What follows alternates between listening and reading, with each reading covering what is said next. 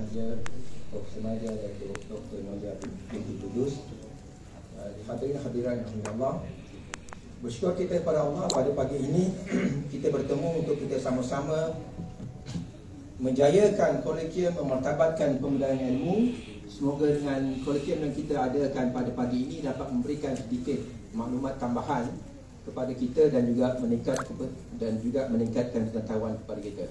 Jadi untuk pagi ini kita akan membincangkan tentang suatu topik yang agak menarik yang perlu kita fahami dan kita hadapkan bersama untuk memajukan dan juga memberikan sumbangan kepada negara iaitu tajuk etika dan kepimpinan negara mengharungi proses hijrah bangsa berdaulat.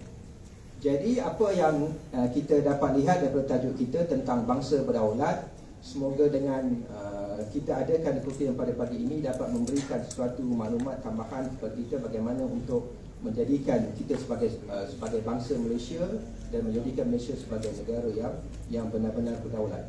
Jadi untuk menjayakan untuk menjayakan program kita pada pagi ini kita akan menampilkan dua orang panel iaitu panel pertama saya persilakan untuk uh, naik ke atas iaitu yang berbahagia Profesor Madia Datuk Dr. Suaidi bin Datuk Syafi'i.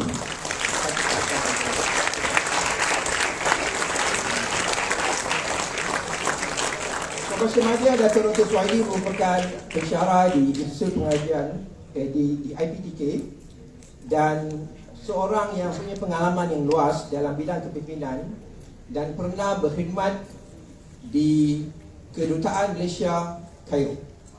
Jadi uh, pengalaman yang ada pada beliau pada pagi ini akan sama-sama kita ambil manfaat daripadanya. Semoga akan memberikan suatu maklumat tambahan kepada diri kita. Seterusnya panel kedua dipersilakan yang berbahagia Profesor Madia DDNK Datuk Dr. Noya Kulit. Terima kasih.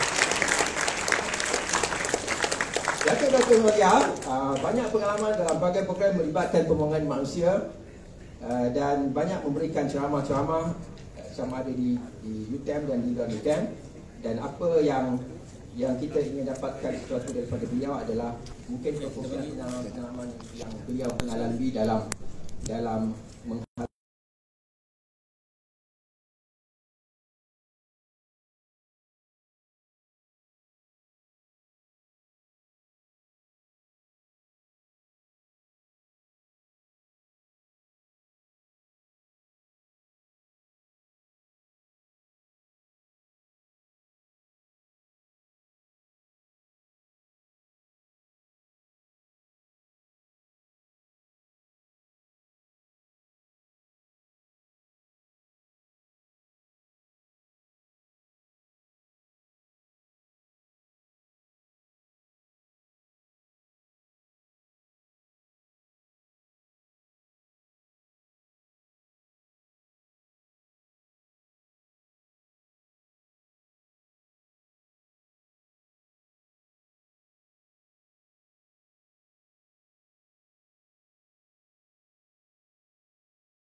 Ini hijrah bangsa berdaulat dan kita semua kena ambil perhatian dan ambil makluman kerana sebagian daripada anda mungkin kena buat laporan selepas ini sebagaimana yang diminta oleh pensyarah anda jadi kena kalau time berjalan cakap jadi itu saya persilakan dengan segala hormatnya Profesor Nadia dan Dr. Fahli untuk membentangkan dapatan-dapatan beliau dalam masa 40 minit. Terima kasih.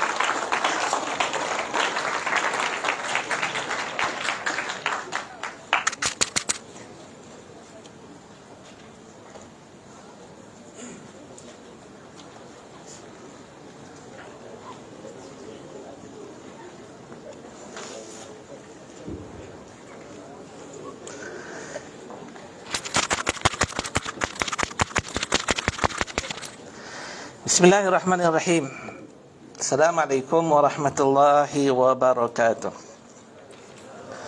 الحمد لله الذي أرسل رسوله بالهدى ودين الحق ليظهره على الدين كله وكفى بالله شهيدا صلوات الله وسلامه على أفضل خلق الله سيدنا محمد وعلى آله وصحبه أجمعين Rabbi syarah li sadri wa yasir li amri wa hlul uqdatan min lisani yafqahu qawli.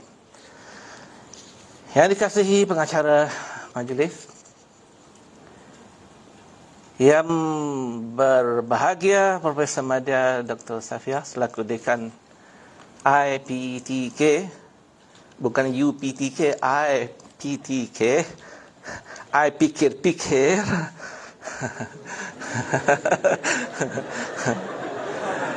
Ketua Jabatan uh, yang merupakan pengajar utama program co-organizer Pusat Islam pengarahnya Al-Fadil Al-Ustaz Dr. Mahadi pengacara dah sebut tadi um, juga co-organizer um, yang lain-lain dari PPG-nya uh, KAS-nya co-organizer rakaman Pusat Islam dan PG dan uh, saudara-saudari warga bangsa Malaysia UTM cawangan UTM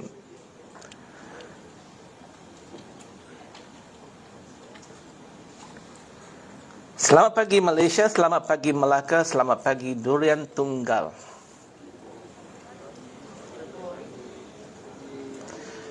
Saya dapat message tadi student saya do interact. They interact with me on the Telegram. Um, forum kita pada hari ini. Tiga kata kunci utama. The leadership which is the subject that you are taking. BIPW triple one two. Leadership, kepimpinan. Jadi siapa yang berada dalam dewan ni, they, they are, they will be empowered pem, pem, pemerdayaan. Empowered to be a leader. Sebab leader itu bermula dengan diri. Kalau tidak ada kepimpinan diri tak mungkin you all hadir. Ada faktor sokongan seperti makan pagi dan juga makan tengah hari. Tapi itu hanya faktor sokongan but the willing to come you're willing to come tu. Kehendak datang tu. Kalau hendak seribu daya. Kalau tak hendak seribu dalih. So yang hadir ni memang based on your patience to be leaders in yourself to be leaders dalam kelas dalam keluarga peringkat daerah negeri dan kebangsaan akhirnya international But it will start from here. Dia bermula di sini. Di sini segala-galanya bermula. Di mana? Di Melaka. Di sini segala-galanya bermula. Kalau nak berubah, be it now. Kalau nak berubah, be it now. Macam mana nak berubah itu? Hijrah. Hijrah, hijrah, hijrah. That is perubahan. That is the transformation the migration bermula di sini. Panggilan untuk berubah kepada siapa ni? Panggilan untuk berubah kepada kepimpinan, panggilan untuk berubah kepada bangsa berdaulat. Bangsa itu bangsa yang berdaulat. Siapa itu bangsa berdaulat? Itu juga adalah saudara dan saudari dan saya juga yang bercakap di hadapan. Kita adalah bangsa yang berdaulat. Nanti kita tengok dalam pembentangan saya kan, apakah Malaysia ni diterima sebagai negara berdaulat 100% atau belum. Seperti contoh negara Mesir, negara berdaulat 85%, bangsa berdaulat 85% sebab masih tidak sampai ke tahap uh, tinggi peringkat tinggi dalam level perpaduan kesamaan kekitaan lagi kuat kita bersatu solidariti itu makin tinggi nilai bangsa tu. Sebab bangsa there will be give and take. Kerana bangsa itu bukan bangsa Cina bangsa itu bukan bangsa Melayu. Bangsa itu bukan bangsa India. Bangsa internationally yang diterima adalah bangsa Malaysia. Keluar saja daripada bumi Malaysia, isi borang immigration embarkation nak mendaratkan penerbang isi borang dulu embarkation dalam borang tertulis bangsa. Bangsa tulis Malaysian. Jangan tulis Cina jangan tulis India. Jangan tulis Malay. Nobody will understand it. Your bangsa adalah proudly say you adalah bangsa Malaysia. Kerana apa? Kerana saya anak Malaysia. Saya anak Malaysia. 1957 bulan 8 aku dilahirkan. That's it. Anak Malaysia.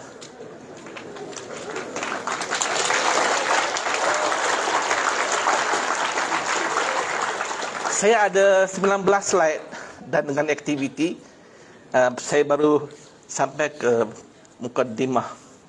Warm up. The so called set induksi set induksi so saudari yang kasih sekalian.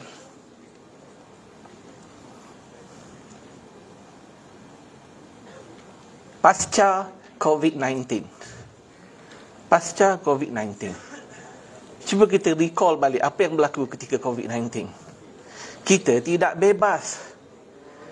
Tak boleh datang kuliah, tak boleh jumpa pensyarah. Tak boleh pergi ion, tak boleh pergi pasar, tak boleh pergi maidin.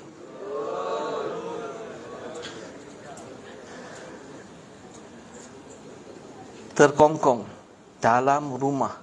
Exercise dalam rumah semua everything inside the house. PDP R pengajaran dan pembelajaran R di rumah Wah, ketika itu semua beli laptop. Laptop.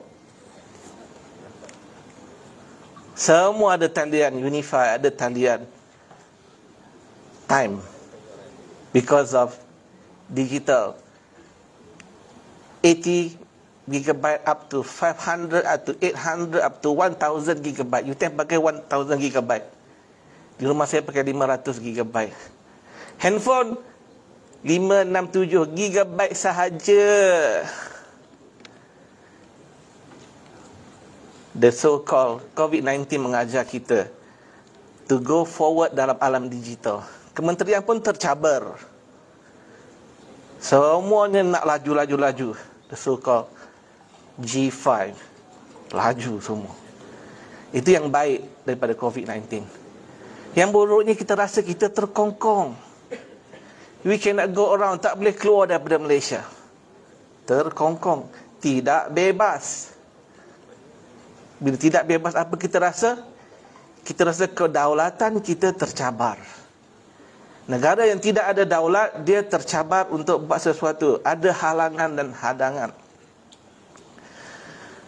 After COVID-19, pasca COVID-19. Kita ingat dah selesai lah masalah kan? Sekarang jadi endemic what happen is that inflasi barang mahal kereta second hand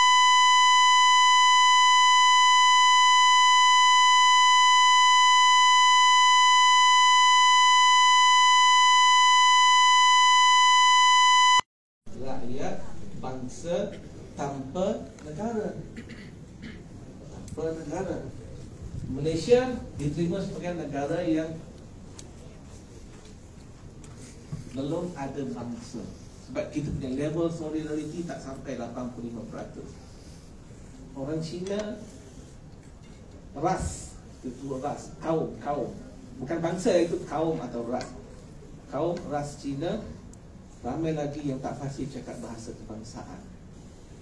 Begitu jugalah seluruh penghayatan. Budaya masing-masing. Tidak ada nilai take lah. So kalau kesatuan budaya. Pada penilaian bangsa-bangsa kita kita tak sampai that kind of level. Compared to Indonesia. Indonesia, China, India semua cakap bahasa Indonesia dengan fasih cuba tanya Indonesia apa bangsa kamu? Automatically Indonesia akan jawab saya bangsa Indonesia. Pak kita terkejut. Pak you are Chinese. Ya saya Cina tapi saya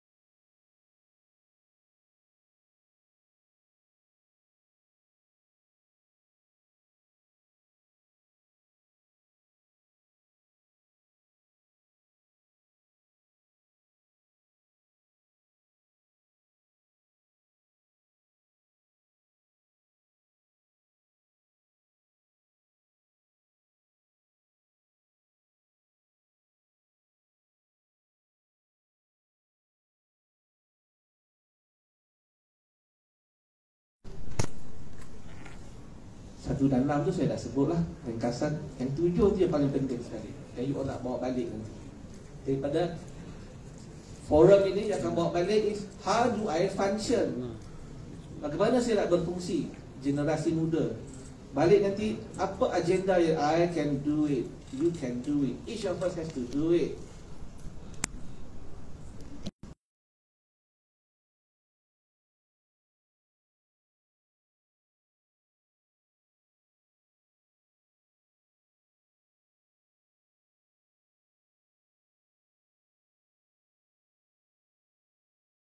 ras itu kita hormati sama-sama kita sebab kita semua berbangga membawa bendera Malaysia menyanyikan lagu yang sama negaraku melakukan simbol rukun negara yang satu. Pendidikan kebangsaan dan juga berbahasa kebangsaan. Great leaders don't tell you what to do. They show you how it's done tengok si cock si ayam jantan di hadapan kau. Ayam jantan si kau kat depan tu. Dia tak biarkan anak buah dia jalan dulu. Saya jalan dulu, let me test. Jambatan ni patah atau tidak kalau jalan. Tak boleh sampai tak ke seberang sana. Jadi leader dulu. Dia tak mau jadi korban pada rakyat jelata. That's a leader. That's a great leader. Itu kepimpinan yang hebat. Dia dulu, let me try first. Show how it is done. Tunjuklah tunjuk bagaimana ia dilakukan. Andanglah lihatlah tiru macam saya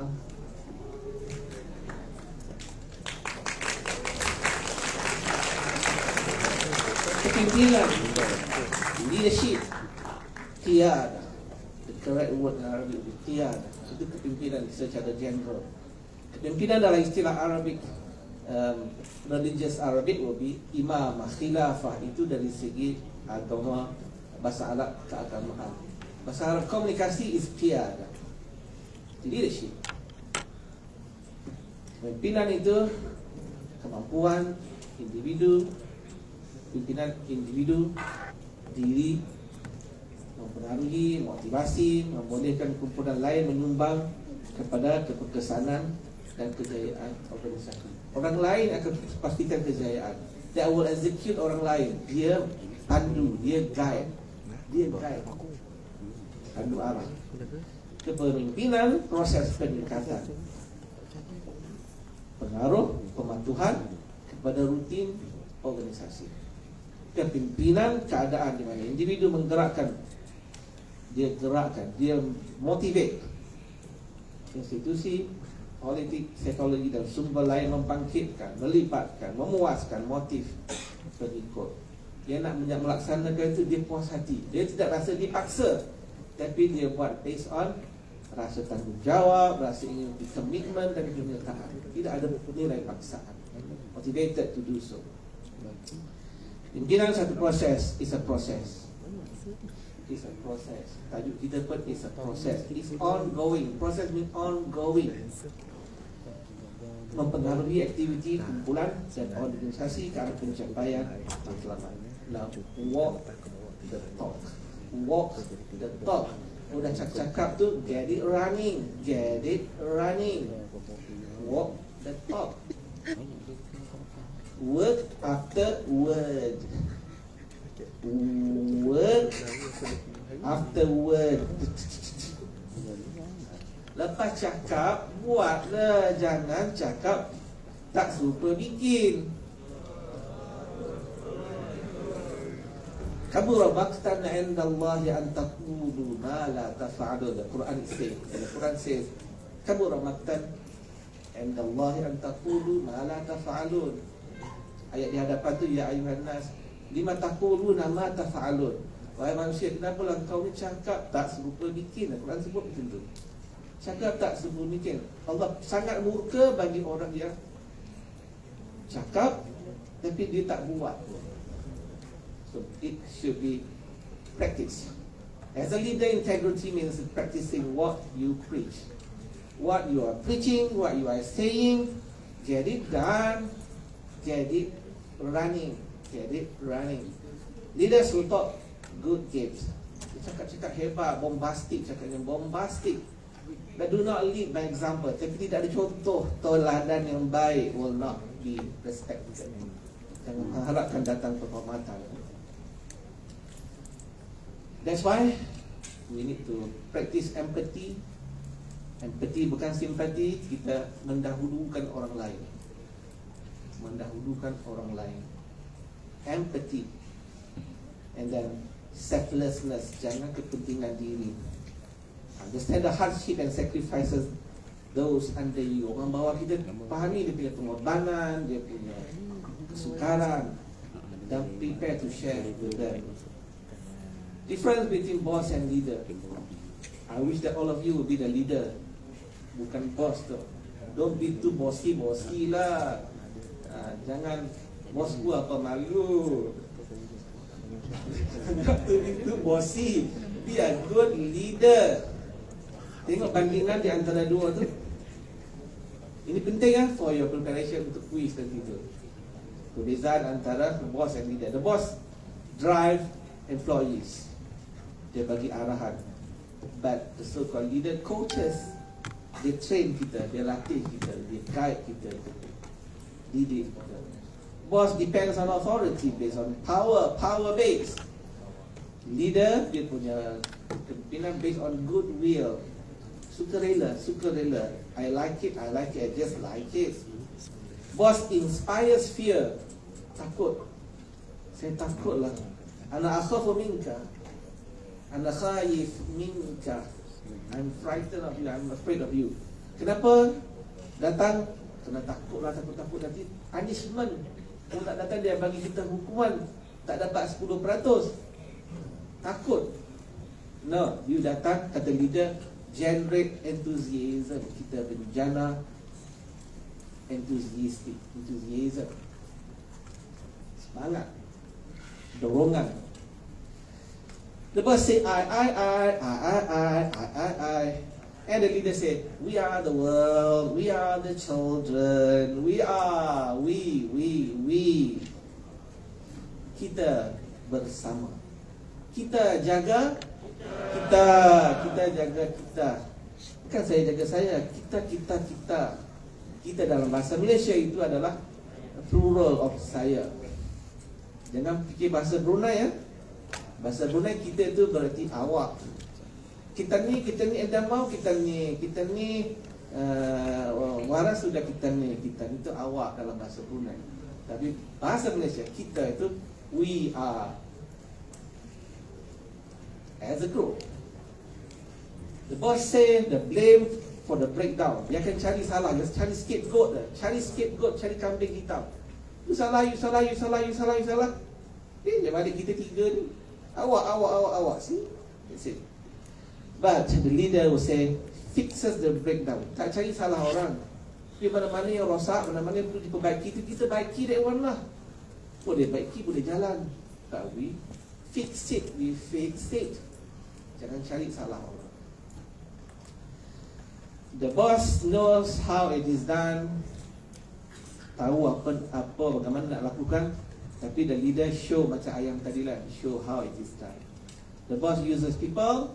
Dia gunakan dia manipulate people to enslave.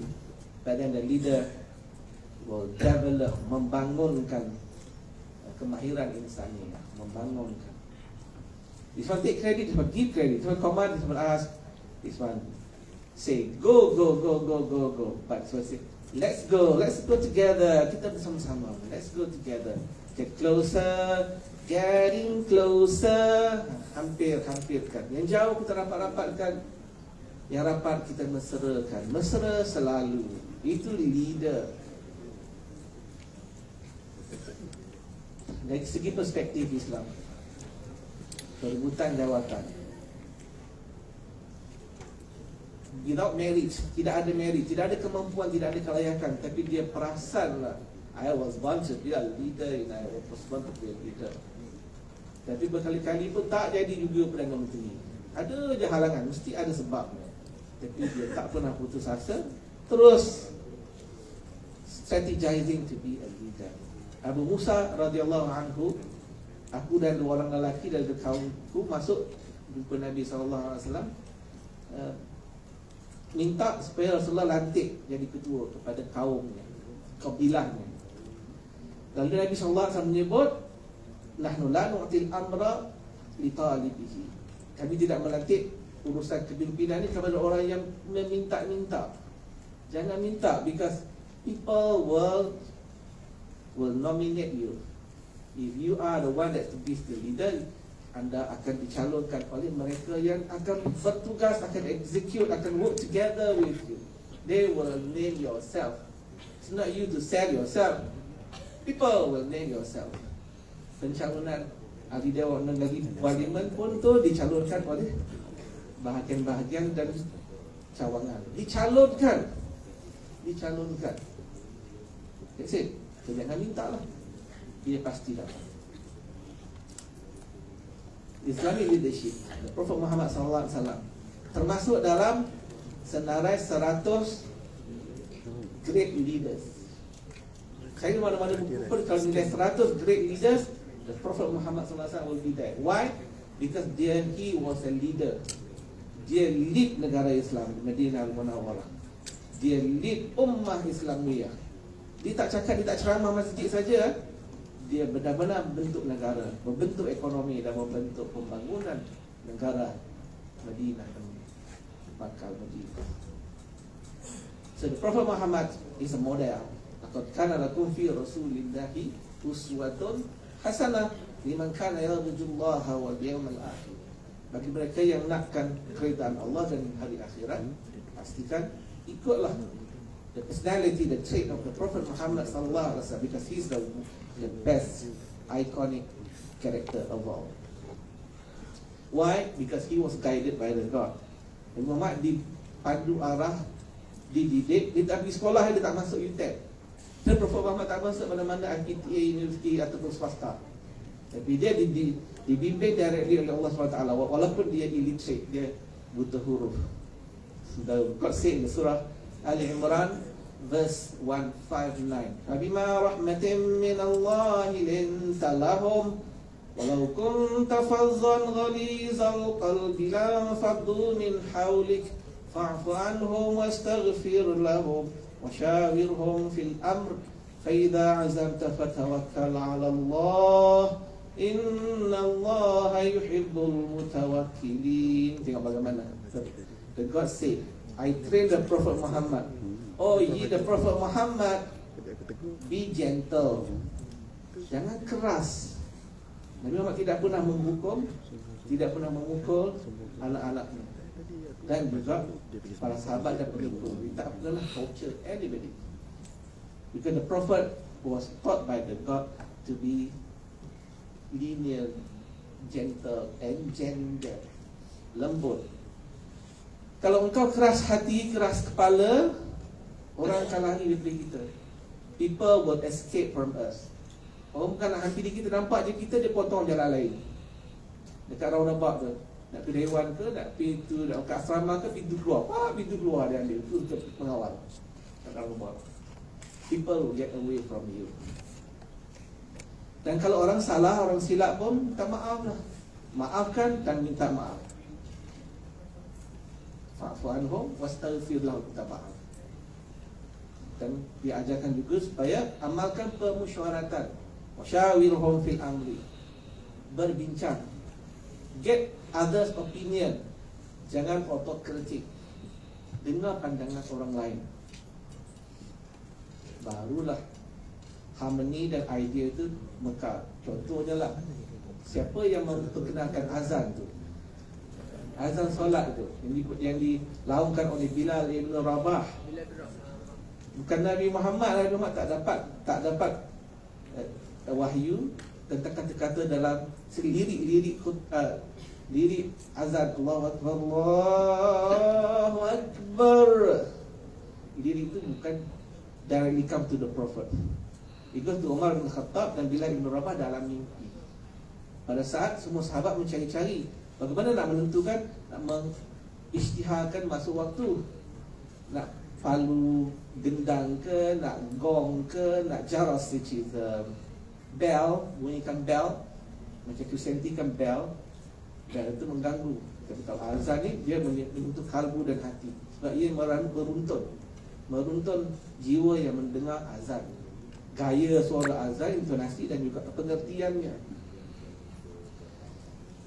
and then Rasulullah mendengar dan dia minta Bilal azankan. Azan yang pertama berlaku di Madinah Munawwarah diazankan oleh Bilal Ibn Rabah. Bukan leader, bukan Nabi Muhammad. Dia ambil apa yang diturunkan melalui idea sahabat. Inspired. So sentiasa bermusyawarah. Nah negara dan bangsa.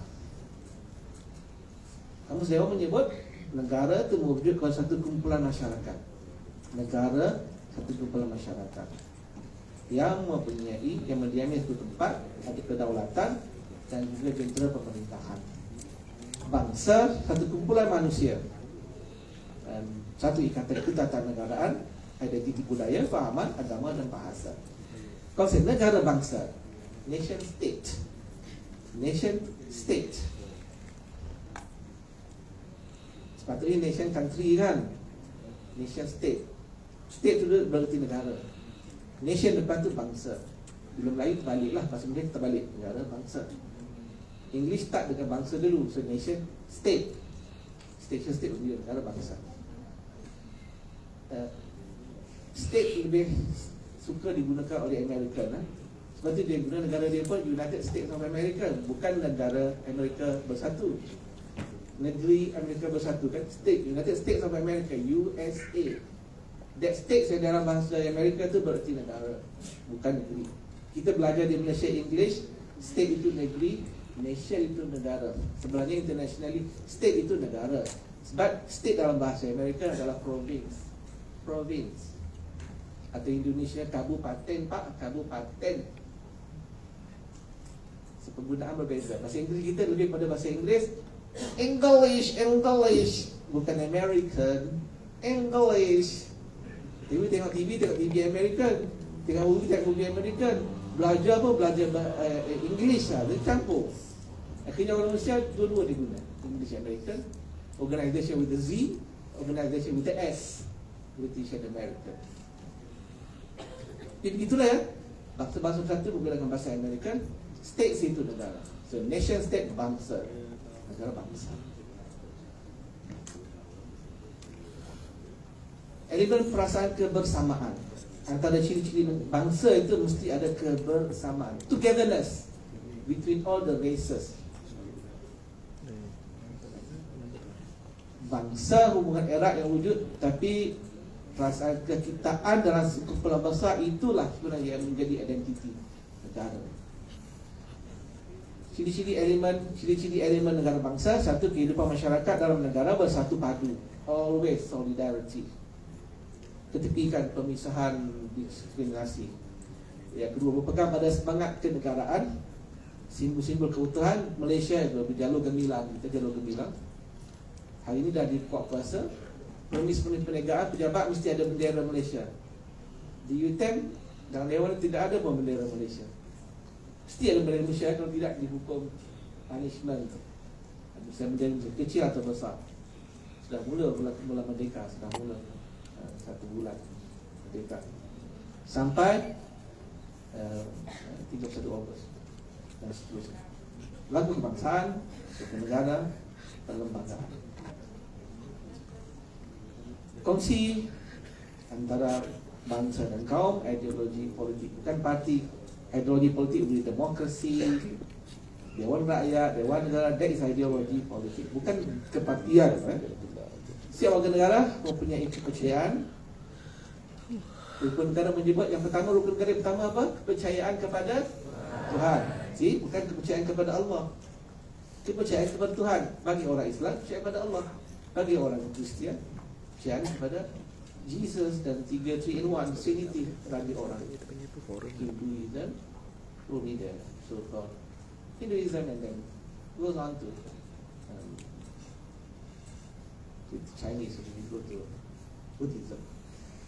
Kepercayaan kepada Tuhan. Sebab rukun negara tu ditulis pada 31 Ogos 1970 31 Ogos 1970 very important for the quiz. Ingat saya dah sebut tu. 31 Ogos 1970 rukun negara diperkenalkan selepas peristiwa 13 Mei yang melibatkan pembunuhan antara China, India dan Melayu berbunuh-bunuhan berperang it's a turmoil perang 13 Mei, perang saudara.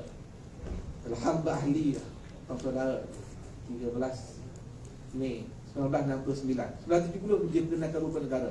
Lima rukun negara. Lima rukun negara.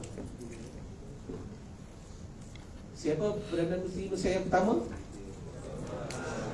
Dia pun penting untuk quiz Dan Tukar Abdul ketika dia melakukan merdeka Bagaimana cara dia angkat merdeka? Yang pegang ditutup tangan Merdeka. Merdeka. Ataupun diangkat tangan kanan dengan buka semua jari Merdeka. Which one? The later or the earlier? The later kan? Diangkat tangan lima jari. Apa lima jari? Lima jari rukun Islam Apa lima jari? Lima jari rukun negara. Mula dengan kepercayaan Tuhan. Ending dengan Kebudayaan. Kita punya tata sosial tata susila. Good behavior.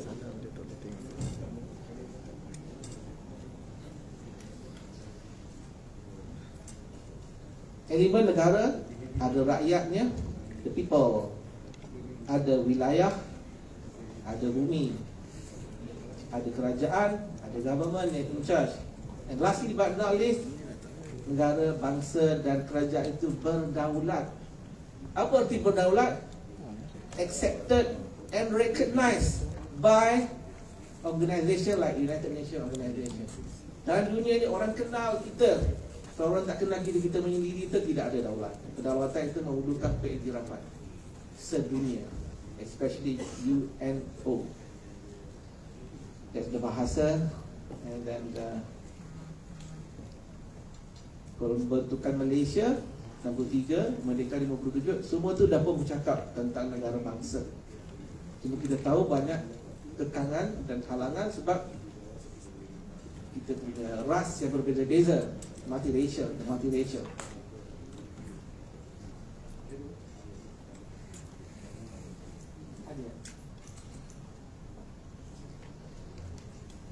Pimpinan Kerajaan Islam di Madinah saya sebut tadi asalnya adalah penyatuan ke arah bangsa satu bangsa juga maka dipertemukan Yahudi, Kristian, Arab sama ada Muhajirin atau Ansar digabungkan membentuk satu bangsa Madinah, bangsa Madinah, ha, bangsa Madinah. Ada unsur-unsur mode, diplomasi, musyawarah dan sebagainya. Negara bangsa uh, tengok contoh. Satu bangsa mewakili satu negara. Dalam negara itu bangsa sama saja seperti negara Jepun dan Portugal. Negara yang paling kuat negara bangsa adalah Jepun dan Portugal. Hampir 100% rakyatnya semuanya arigato gozaimasu. Hai, kimi ga yawa chiyo ni ya chiyo ni ishino sanzare ewa opto narite. Koke no mosu made itu lagu kebangsaan negara Jepun. Negara Jepun dan Portugal ada 100% bangsa Jepun. Ini negara bangsa. Negara bangsa yang contoh adalah Jepun dan Portugal.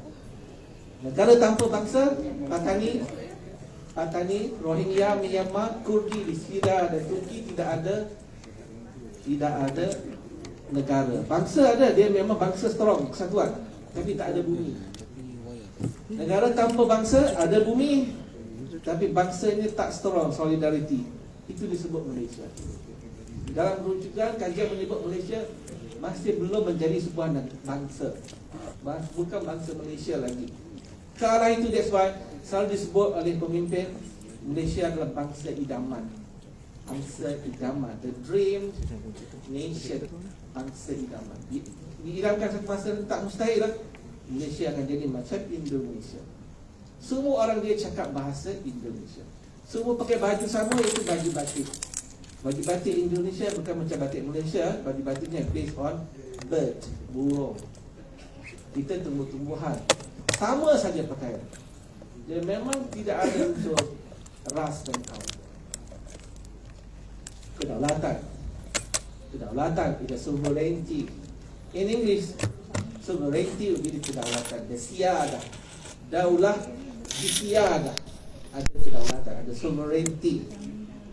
Iktirafan ada UNO, negara berdaulat ada juga raja itu jadi kedaulatan ada juga pada raja ada monarki Daulat tuanku, daulat tuanku. Kita ke arah daulat bangsaku.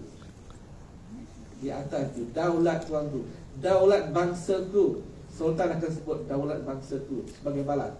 Kita cakap assalamualaikum, dia jawab waalaikumsalam. Kita cakap daulat tuanku, tuanku akan jawab daulat bangsaku. Tapi bangsaku Malaysia belum mendapat pengiktirafan 100%. Masih tidak jelas status. Cina, India, Melayu dan semua bangsa Mesti ada. Kita jaga kita. Hmm, Ada, ada, ada. Ha, Peranan generasi muda ni Ending. Saya ada sampai uh, Sebelah tujuh. Kan? Sepuluh, sebelah dua belas, dua belas. Ini adalah slide yang terakhir.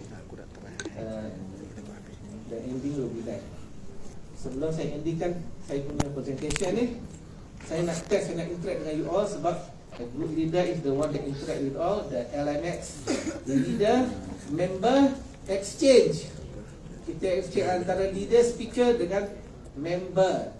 Can you together with me? Saya akan layarkan QR code. You scan that QR code. You go to the page and then we'll do some activity. Join me, join me. Gonna open the QR. Get ready your handphone, please. Your handphone.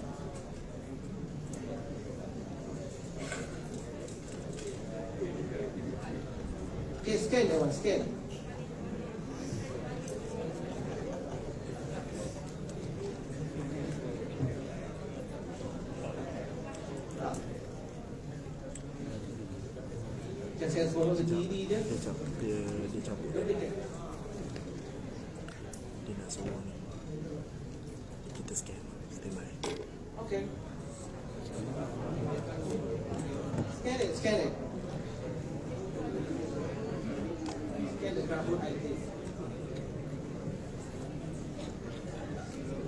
Pin.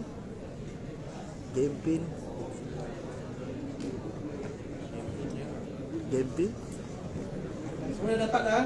Dah. Okay. Now allow me to process the you need so what you need the pin number kan? Ya. Uh, sekejap ya. Excuse me ya. Allow allow me to process you know generate the pin number. Kita tengok siapa yang 5 at the podium and also the so-called um, champion of today's activity.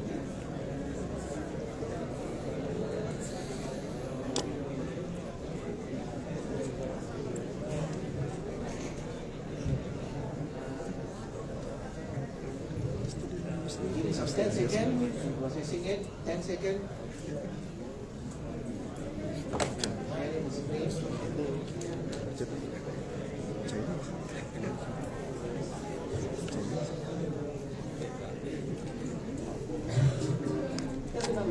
Triple nine six two, triple nine six two, nine nine nine six two.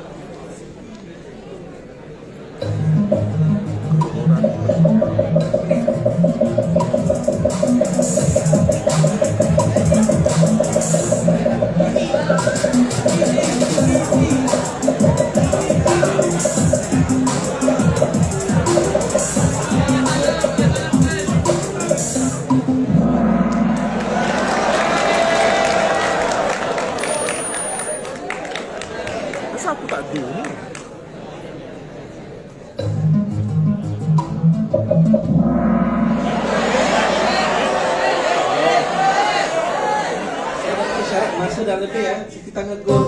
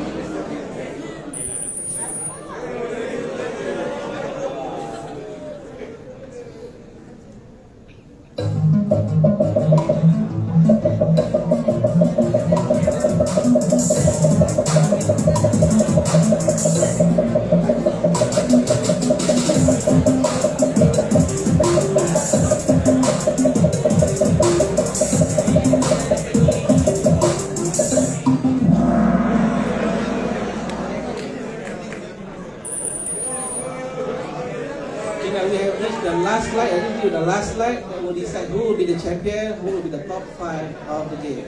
Last one.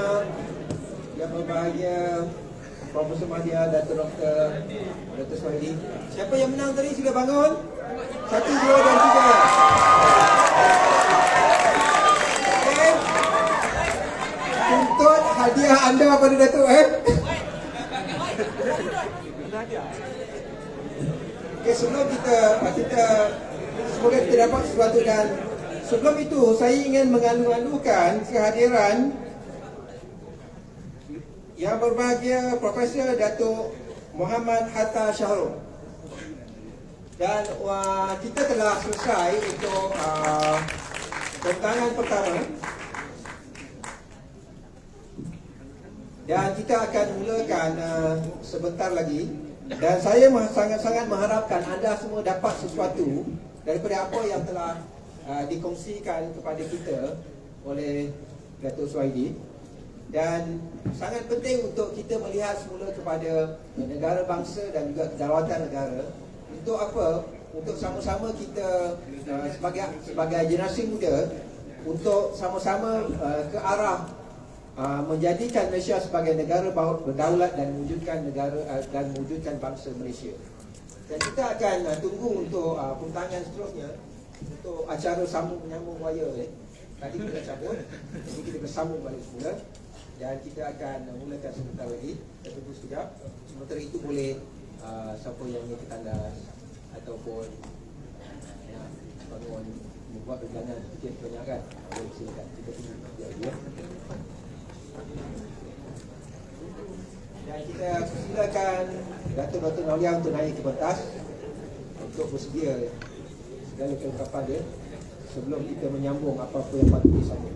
Ya, Bismillahirrahmanirrahim. Assalamualaikum warahmatullahi taala wabarakatuh. Yang saya hormati, lagi saya kasihi, yang berbahagia Ya, yang berbahagia Profesor Datuk Dr. Muhammad Hatta bin Syahrum, Profesor Ajang, Ejang, Universiti Teknikal Malaysia Melaka, sahabat saya, Profesor Madia, Dr. Sofia Siddiq, eh, Profesor Madia, Datuk Dr. Suaidi, Datuk Syafi'i, uh, merupakan uh, penceramah pertama tadi uh, yang berbahagia Dr. Mahathir Abu Hassan, pengarah Pusat Islam uh, yang berbahagia lagi dihormati Cik Ahmad Ridwan Makno, Ketua Jabatan IBTK, Institut Pengurusan Teknologi dan Keusahawanan Cik Syamsul Iqbar bin Haji Muhammad Hakim, Penolong Pendaftar Kanan Pusat Islam dan uh, uh, selaku pengarah bersama eh, untuk program ini di hormat sahabat saya Dr. Ahmad Rizwan eh, Ketua Jabatan tadi dan juga uh, warisan uh,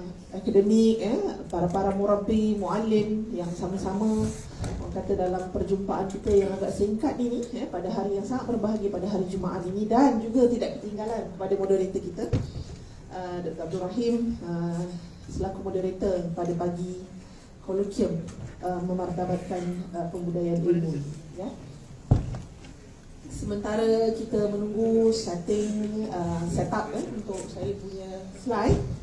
Okey, jadi saya rasa tadi uh, semua terhibur eh, dengan game kahut tadi.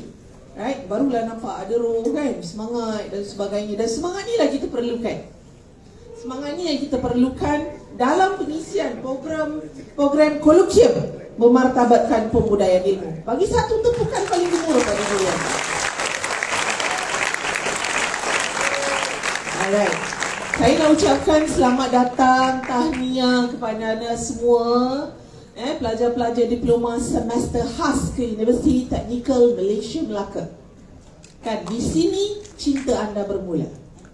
Bukan cinta kepada kaum Aw- Adam atau Hawa Tetapi di sini bermulanya cinta dan perjuangan ilmu itu tadi. Ya, so tahniah anda berada di universiti kita yang cantik ni dan saya semester ni memang saya tak mengajar dan selalunya kalau saya mengajar saya akan anjurkan program. Sebab apa? Sebab program itu perlu untuk membina bonding anda, untuk membina kebersamaan anda, untuk ada rasa yang anda berada di universiti. Kalau tidak, selalunya pelajar-pelajar diploma ni, Samhas ni selalu dia floating. Dia tak tahu sama ada di dia di alam dua alam, masih lagi di alam persekolahan sebab dipanggil semua pensyarah cikgu. Cikgu sini, cikgu sana, cikgu sini, cikgu sana. Right, uh, so itulah tak kenal maka tak cinta ya. So di sini kita ada Profesor Madya, kita ada Profesor, kita ada Doktor, panggil mereka Doktor. Right, kalau dia tak ada Doktor, panggil dia Tuan, Cik, right, dan sebagainya. Jangan cikgu, cikgu, cikgu, cikgu punya zaman dah habis. Alright, okay, kita berada di universiti di Menara Gading. So, saya akan kupas eh, tajuk berkaitan dengan etika dan kepimpinan negara mengharungi proses hijrah bangsa berdaulat. Kalau tadi sahabat saya dah kupas lanjut, dalam, detail berserta dengan game sebagai penutup kefahaman. Kan? Jadi saya rasa untuk segmen saya ni kita santai-santai sikit lah. Right? Okay, so kita santai-santai sikit dalam kita mengulas, dalam kita mengupas. Right? Saya nak anda keluar daripada dewan ini sebelum nanti uh, sesi ini akan kita paskan baton kepada yang berbahagia Profesor Datuk Dr. Muhammad Hatta Syahrum dan jauh ni datang daripada Bangi. Alright, masa kita duduk PKP Datuk eh, kita ah, ah dari Gombak, sorry, dari Gombak. Alright, semasa kita duduk dalam COVID, kita buat online Datuk eh. Ah, semua pelajar-pelajar masuk. Eh, so alhamdulillah hari ni awak dapat bertemu dan saya pertama kali bertemu. Right, dengan uh, Profesor Ejang kita, right, iaitu Profesor Datuk Dr. Muhammad Hatta Syahrum, orang yang hebat eh, semangat dia datang ke sini ni kerana anda semua. Jadi saya nak semangat anda ini terus awak paksakan, terus awak semaikan, terus awak perkasakan dalam mengangkat tajuk forum pada kita pada hari ini etika dan kepimpinan negara mengharungi proses hijrah bangsa berdaulat. Jadi ada beberapa keyword yang saya nak highlight pada anda. Saya harap anda awak anda semua fokus pinjamkan telinga dan mata anda kepada saya. Bersempena dengan hari Jumaat ini hari yang sangat baik. Penghulu segala hari dan pada hari ini ada waktunya yang Allah sedang mengangkat doa-doa kita. Jadi ini majlis ilmu. Teruskan berdoa. Ya, teruskan berdoa, berdoa.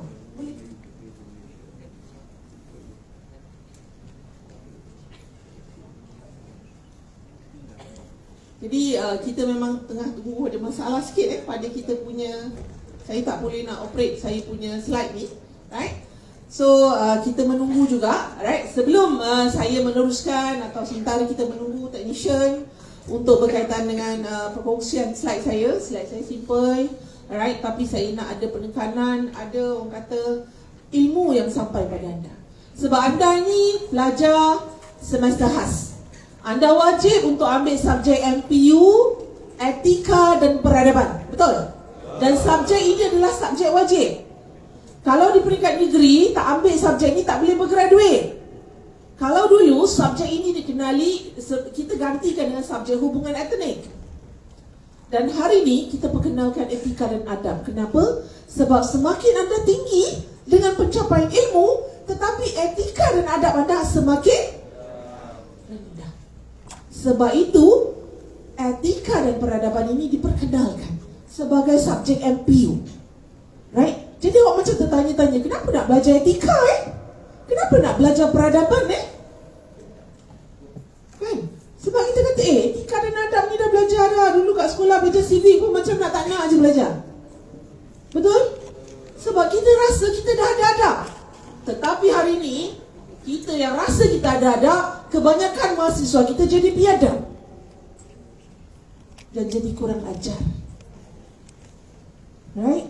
Sebab itu Tadi sahabat saya pun menekankan Bagaimana Indonesia hebat dengan bangsa dia Bahasa dia Bangsanya bangsa Indonesia. Satu identiti. Bahasa jiwa bangsa. Tak boleh berbahasa Melayu Anda tidak ada jiwa bahasa Melayu. Anda tak ada jiwa Malaysia Kadang-kadang kesian eh Saya ada pelajar saya bukan Melayu Bila buat pembentangan They couldn't speak in bahasa Melayu They couldn't present good in bahasa Malaysia Why this happen? Because you are warga negara Malaysia. Right? Sebab itu kita kena tahu. Tak kenal maka tak cinta. Cintai bahasa kita. Sebab kita berada di sempena bulan merdeka ni. Hari ini filem Mak Kilau mencanak-canak keuntungannya. Jangan tengok filem Mak Kilau hanya sekadar Mak Kilau. Hari ini bila tengok orang mula mencari uh, sumber dan bahan-bahan orang mencari tentang mak kilau tu semakin meningkat. Kenapa? Kerana panggilan daripada filem. Mak kilau telah memberikan kita satu wake up call. Hari ini persatuan silat, klub-klub silat penuh. Kenapa? Sebab filem punya pasal. Nampak tak? Sedangkan silat itu ada nilai yang tersendiri dalam pembangunan eh, dalam pembangunan sasa diri remaja hari ini. Jadi hari ini kita tepuk dada, kita tanya selera. Apa tujuan anda berada di sini? Kita hari ini nak bercakap tentang etika, hari ini kita nak bercakap tentang kepimpinan, hari ini kita nak bercakap tentang hijrah. Saya suka perkataan hijrah. Right? Sebab dia kata apa? Bila kita sebut hijrah, hijrah ini meliputi aspek fizikal, aspek rohani, menyeluruh. Hari ini awak dah masuk universiti. Bila masuk universiti, anda kena hijrah. Anda tak boleh duduk dalam uh, kata pemikiran, tingkah laku, gaya sekolah. Ya? Anda bakal pemegang ijazah sarjana muda. Sarjana itu maksudnya apa? Intelektual. Dan anda di sini berada untuk memperjuangkan masa depan anda. Supaya anda yang ada diploma SMH ini semua akan jadi pelajar-pelajar yang hebat. Saya di pelajar diploma saya dapat anugerah Chancellor. Jadi anda jangan ingat anda ambil berapa paper semester ni? Tiga paper anda pun uh, nak tak nak kan? Orang kata agak macam oh, tak apalah kan? Sedangkan tiga paper ni menyahut untuk CGPA anda pada semester satu. Hari ni anda datang tanpa rasa apa-apa. You are nobody. But nanti awak akan ada orientasi yang besar. Awak akan digabungkan dengan pelajar ijazah nanti. Jadi hari ini berada di bumi Yutan ini kena sedar untuk bertindak, kena hijrah. Right? Okay? Jadi hijrah tu penting. Kalau kita tak berhijrah, saya adalah semalam baca-baca sikit. Right? Rasulullah bersabda, ini daripada riwayat Bukhari, Muslim. Rasulullah sallallahu alaihi wasallam bersabda, dia kata sesungguhnya orang yang paling berjaya adalah orang yang hari ini lebih baik daripada semalam. Dan orang yang gagal adalah orang yang hari ini lebih teruk dari semalam. Tadi anda jawab kahut kan? Ada empat pilihan soalan, betul? Saya baru bagi dua pilihan. Right? Dia kata orang yang hari ini lebih baik daripada semalam dan orang yang gagal adalah orang yang hari ini lebih teruk dari semalam. Manakala orang yang terpedaya, adakah anda generasi ulul albab, generasi pencetus ilmu baru di Universiti Teknikal Malaysia tercinta ini? Right? Adakah anda berada dalam keadaan lebih teruk dari semalam? Ataupun anda ini adalah orang-orang yang terpedaya?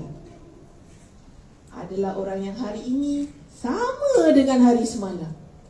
So you are the decision maker. Make your choice. Hari ini kita kupas hijrah. Di mana bermula hijrah? Saya nak anda ni habis semester pendek ni, anda balik rumah, your mother, your parents will see you different. Faham tak? Saya ni kalau student saya kelas pukul 8, 8 suku saya dah lock pintu. Yang datang 8.20 belajar dekat luar Tiga kali tak datang Kita senarai hitamkan dia Kita bagi dia love letter first Right? Surat cinta pertama Kita ada tiga surat cinta Surat cinta ketiga Putus terus I see you next semester Faham? Ini perjalanan universiti Dia berbeza Sebab itu saya kata berada di sini Hijrahlah Pensyarah tu yang mengajar dia buat soalan Awak SPM, cikgu mengajar orang lain buat soalan. Nampak tak? Sebab itu tajuk forum hari ini hijrah. Nak jadi bangsa yang bermaruah. Saya nak bila pelajar UTM berada di luar, you are very good duta to our university. Pelajar mana ni? Universiti Teknikal. Bagus ni Universiti Teknikal ni. Pelajar dia ni kepimpinannya terselah. Komunikasinya hebat. Sebab tu saya cakap dengan MPP, buat piala debat. Ramaikan lagi ramai pendebat-pendebat di universiti. Supaya you jadi future leader yang bagus. Right? Tetapi setinggi mana pun kita pergi, etika dan adab menjadi platform utama. Orang tengok anda, anda kadang-kadang ada pelajar saya panggil, uh, uh, kamu ada bilik tak? Saya pandang dia. Kenapa ni? Apa yang cakap saya? Dan itu betul-betul dia cakap, kau ada dekat office tak? Nampak tak? Berbahasa. Kaedah dan cara komunikasi komunikasi yang paling penting. Saya dah sediakan slide yang cantik ni. Tak tahulah dukanya Allah nak bagi ni kan.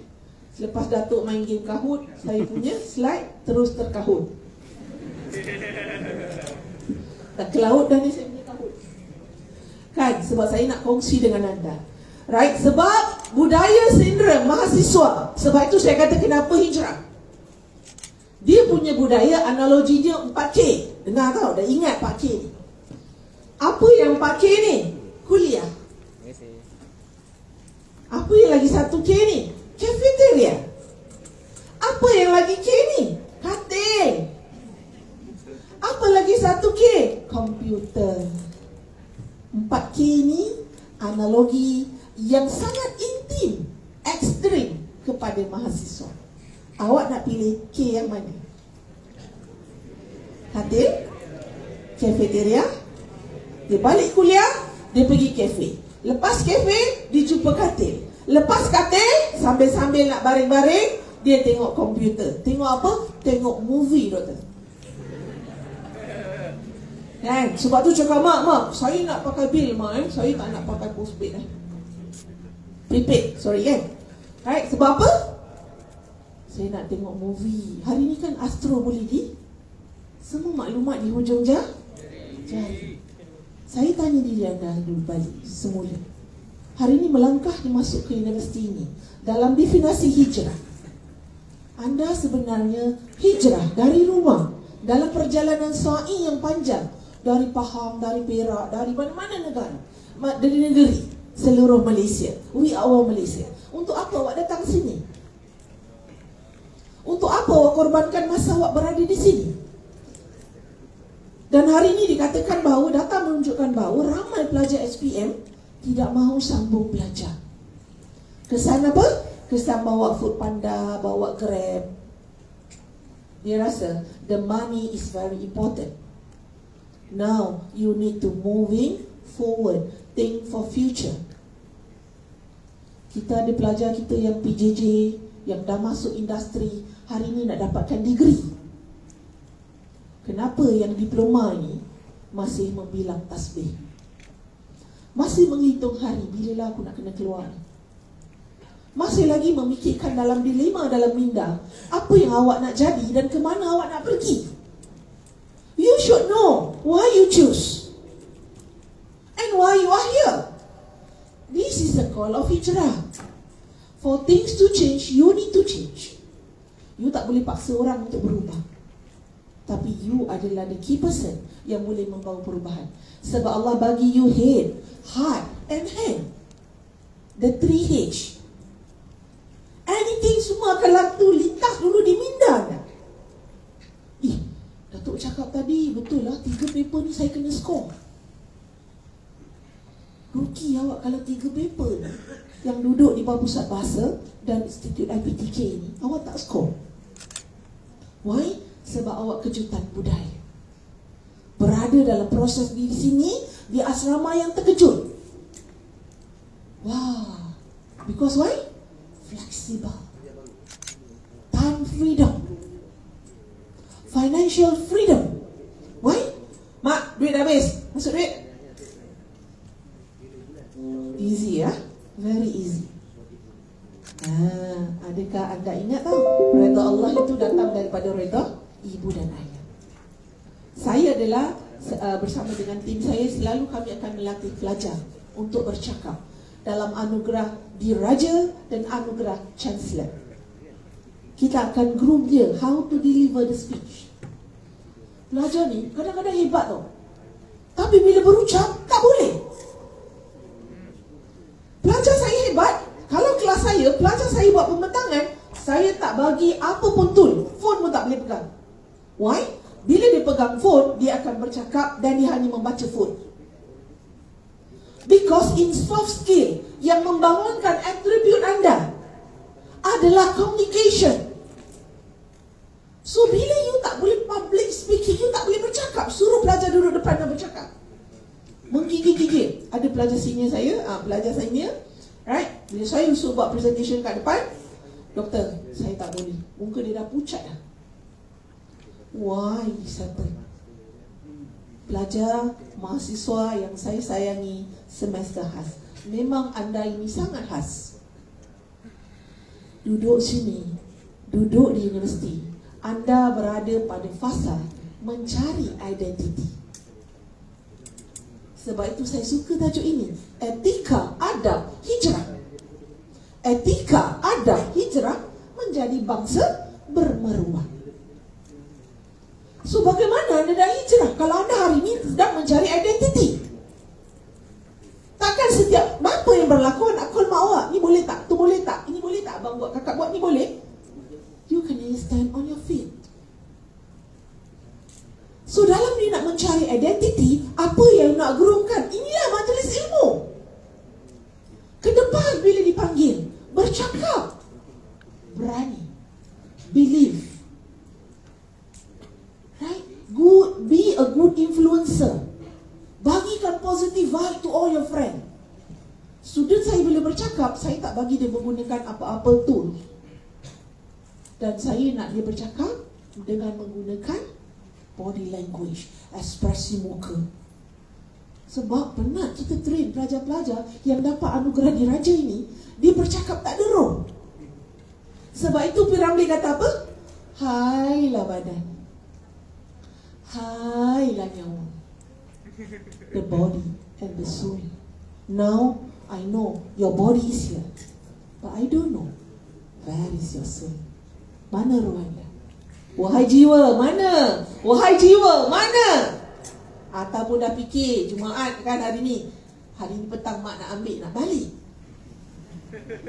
Nah, ketawa semua, betul lah tu Kan? Dia nak balik Ha, dia nak duduk bilik dia Kalau lah bilik dia tu Rumah dia tu boleh diangkat Panggil jin The genie Saya rasa dia dah angkat Dia duduk kat sebelah ni kot Di mana tanah-tanah kosong yang ada di Yutan Right? Jadi dalam proses anda ini nak mencari identiti, lama lagi. Okay, anda nak mencari identiti, skill yang paling penting adalah kepimpinan. Hari ini skill kepimpinan ini. Sebab itu etika ada. Haju hari ini kan? Etika peradaban dan kepimpinan negara. Macam mana nak lahirkan awak ni jadi pemimpin? Supaya awak menjadi dambaan organisasi, belum keluar organisasi yang tunggu awak. Kami ada latih seorang pelajar anugerah Chancellor Ibrahim. Belajar daripada UAE Right? Kita duk train. Boleh tak Ibrahim? At least you speak in bahasa Melayu.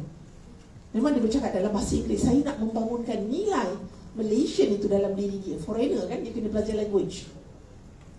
Alhamdulillah Confident yang dia ada tu Semangat yang dia ada Kemahuan yang dia ada tu Membolehkan dia boleh bercakap bahasa Melayu Adalah dua pergan Nampak tak? Kenapa sebab apa? Sebab dia fikir dia perlu ada satu skill. Hari ni kat mana nilai kepimpinan awak nak bangunkan? Awak belajar etika cakap apa ni? Belajar etika, belajar etika, belajar adab. Belajar etika, belajar adab. Awak rasa tak ada nilai tambah pun belajar etika ni? Tetapi ini dalam mind. Sebab itu kita nak bangunkan nilai ihsan. Nilai dalam diri awak supaya awak menghormati, supaya awak respect. People setinggi mana pun ilmu awak masih tunduk ke bumi. Right? Kita tak boleh nak rasa kita ni bagus.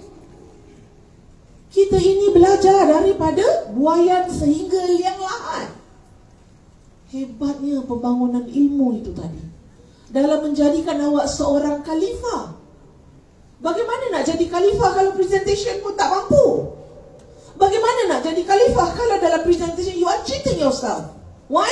Dalam grup, lima orang, tiga orang tak buat kerja. Dia jadi sleeping partner. Right? Dia tidur. Oh, saya pantang belajar yang macam ni. Sebab markah nak. Kerja tak nak. Hari ni kita kena hati batu sikit. Dalam tim tu kalau perempuan saya dah ajar dia hati batu. Tak ada tengok muka dia handsome ke. Kita pun rasa tak apalah. Aku presentkan kau lah. Tak apalah. Aku buatkan kau lah. Tak ada.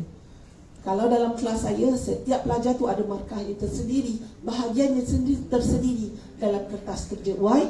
Because saya nakkan skill awak. Bagaimana nak membangunkan skill komunikasi anda? Bagaimana nak membangunkan skill leadership anda? Hari ini awak boleh berdiri tapi tak boleh bercakap. Sebab itu kata Piramli, aku suruh kau cakap bukan action.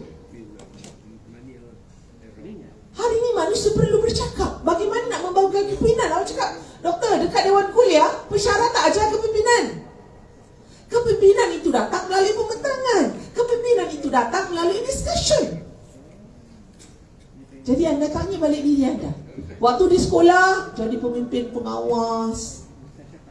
Di mana nilai itu awak tinggalkan? Ya? Di mana? Dah. Okay. Alhamdulillah. Okay, ha, inilah saya. Cantik tak? Cantik. Alhamdulillah. Syukur. Nikmat Allah. Okey. Okey, saya tak nak awak senyum macam ni. Ini senyum stres. Betul tak uh, Datuk? Datuk Atta dia orang hebat dalam bidang uh, psikologi ya, psychiatrist.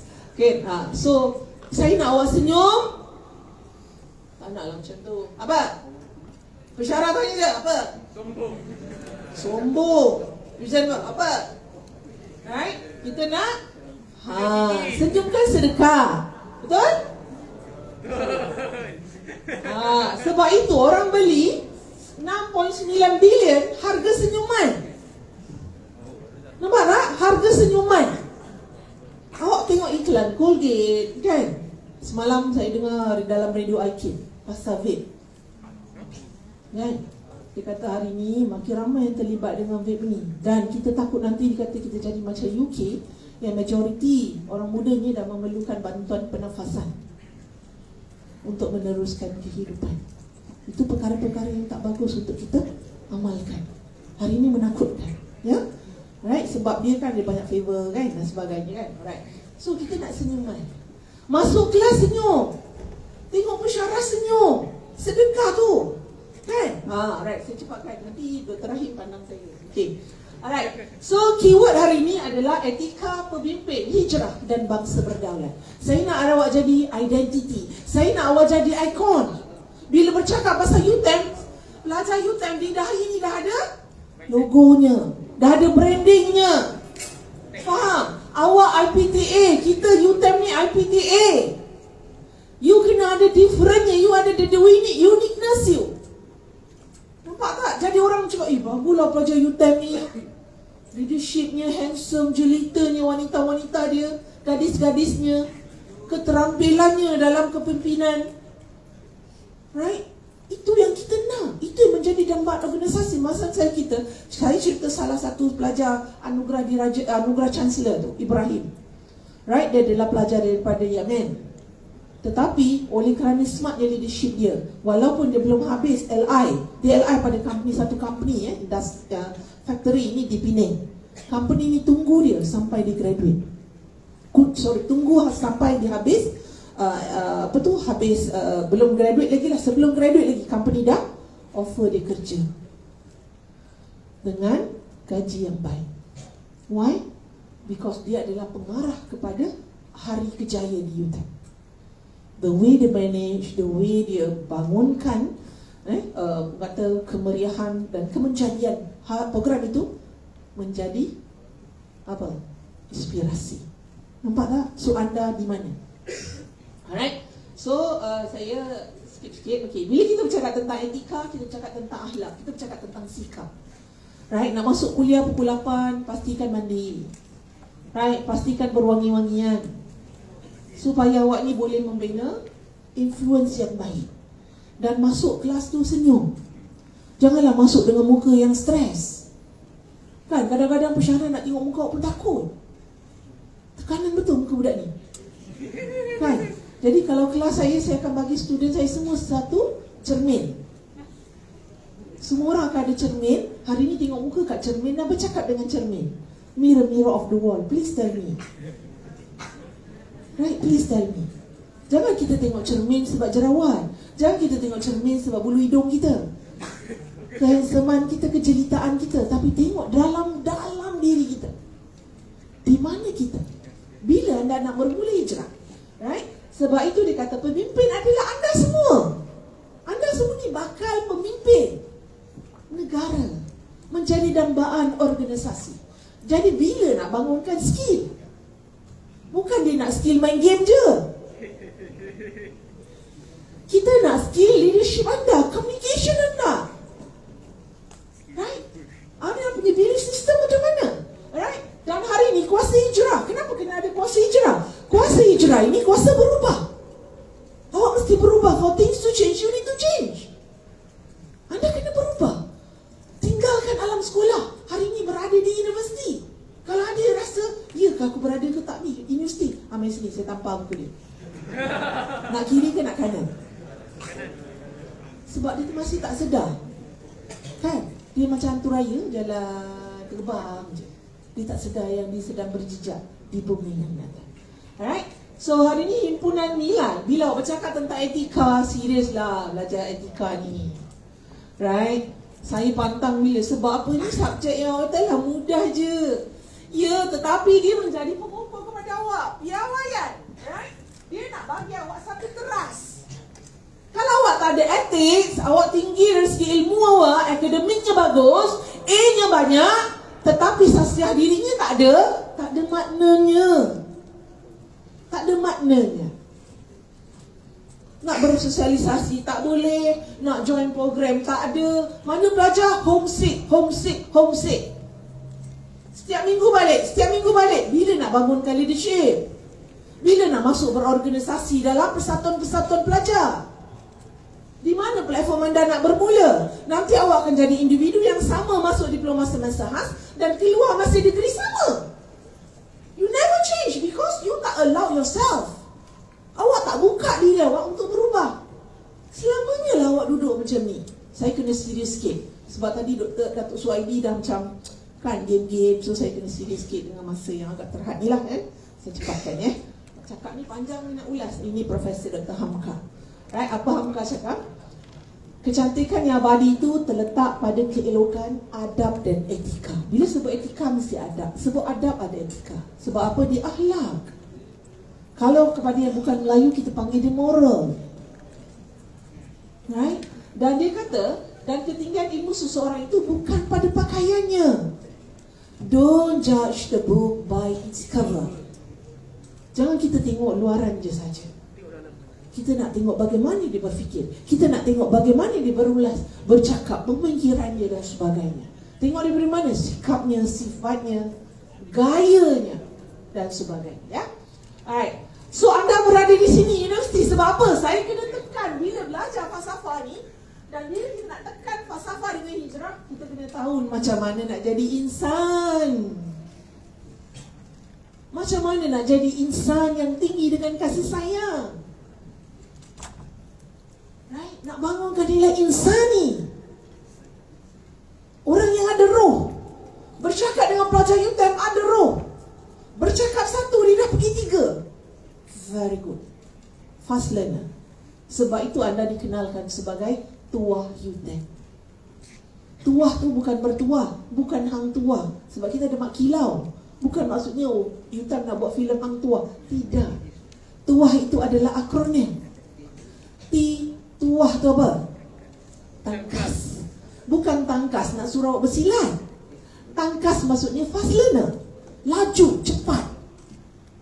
Eh, itu adaptive. Boleh adapt dengan mana-mana. Balik awak mana-mana pun boleh hidup. Kita nak jadi ikan. Duduk di air masin tak masin. Nak goreng tu tak kena tahu garam. Betul? Ha. Right? Lagi apa? Eh, you tadi unggul. Macam mana nak bawa personality unggul? Pergi kuliah pakai t-shirt round neck. Tak pakai t-shirt berkola. Tak smart, pakai slipper. Rambut tak sikat betul-betul. Sebab tu dalam kelas saya, saya bagi student saya semua cermin seorang satu. Sebelum saya mula, semua ambil cermin. Talk to the mirror. You talk to the mirror. Why? Because personality unggul. Right? Cuba hari ni saya datang ceramah, saya pakai jeans. Right? Saya pakai t-shirt, slow koyak-koyak. Trending kan? So you rasa ini penceramah ke tak penceramah eh? Dah viral pula penceramah you time dan penampilan baru. Right? Ha, suka ya. Alright. Dan H tu apa? Holistic, menyeluruh. Nampak tak? Kalau kau tak jumpa T, kau tak jumpa U, kau tak jumpa A, macam mana nak jumpa H? Holistic, menyeluruh. You datang dengan package. Macam Datuk Siti Nurhaliza. Suaranya sedap, cantik. Sasiahnya baik, budi pekertinya tinggi. Saya nak nilai itu dalam package anda. Dalam forum ini, kita nak membangunkan etika. Kita nak membangunkan kepimpinan. Kita nak anda hijrah. Supaya anda jadi bangsa yang berdaulat. Bermaruah. Awak menjadi ikon inspirasi, aspirasi kepada adik-adik yang lain. Awak dah masuk dulu. Pelajar degree akan masuk bulan 9. You akan ada nanti minggu haluan siswa yang besar. Hari ini tak nampak orang lagi. Kau lalu jalan-jalan, jumpa kawan kau balik. Lalu sana lagi, jumpa kawan kau balik. Ha, kau cakap, eh, you time ni macam ni je ke? Mesti dengan you ke? Contoh, kan? Alright, saya cepatkan ya. Dan universiti ni tempat apa? Awak pada kat mana sekarang ni? Universiti? Universiti. Universiti ni tempat apa? Universiti ni tempat nak melahirkan awak menjadi insan yang cemerlang. Inilah rumah awak. Inilah kilangnya. Faham nak jadi engineer sinilah kilang nak membangunkan sesi awak nak membangunkan package soft skill awak yang menjadi attribute yang menjadikan awak ni branding dambaan organisasi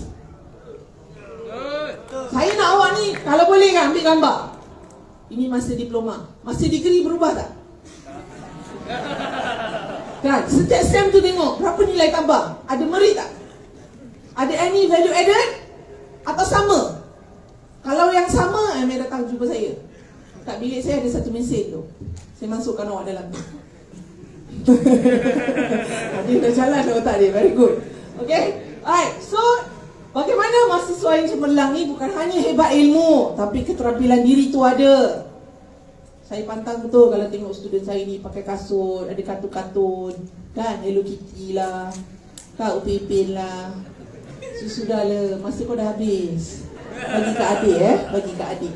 Hari ni membina personality yang unggul. Penampilan diri Ya?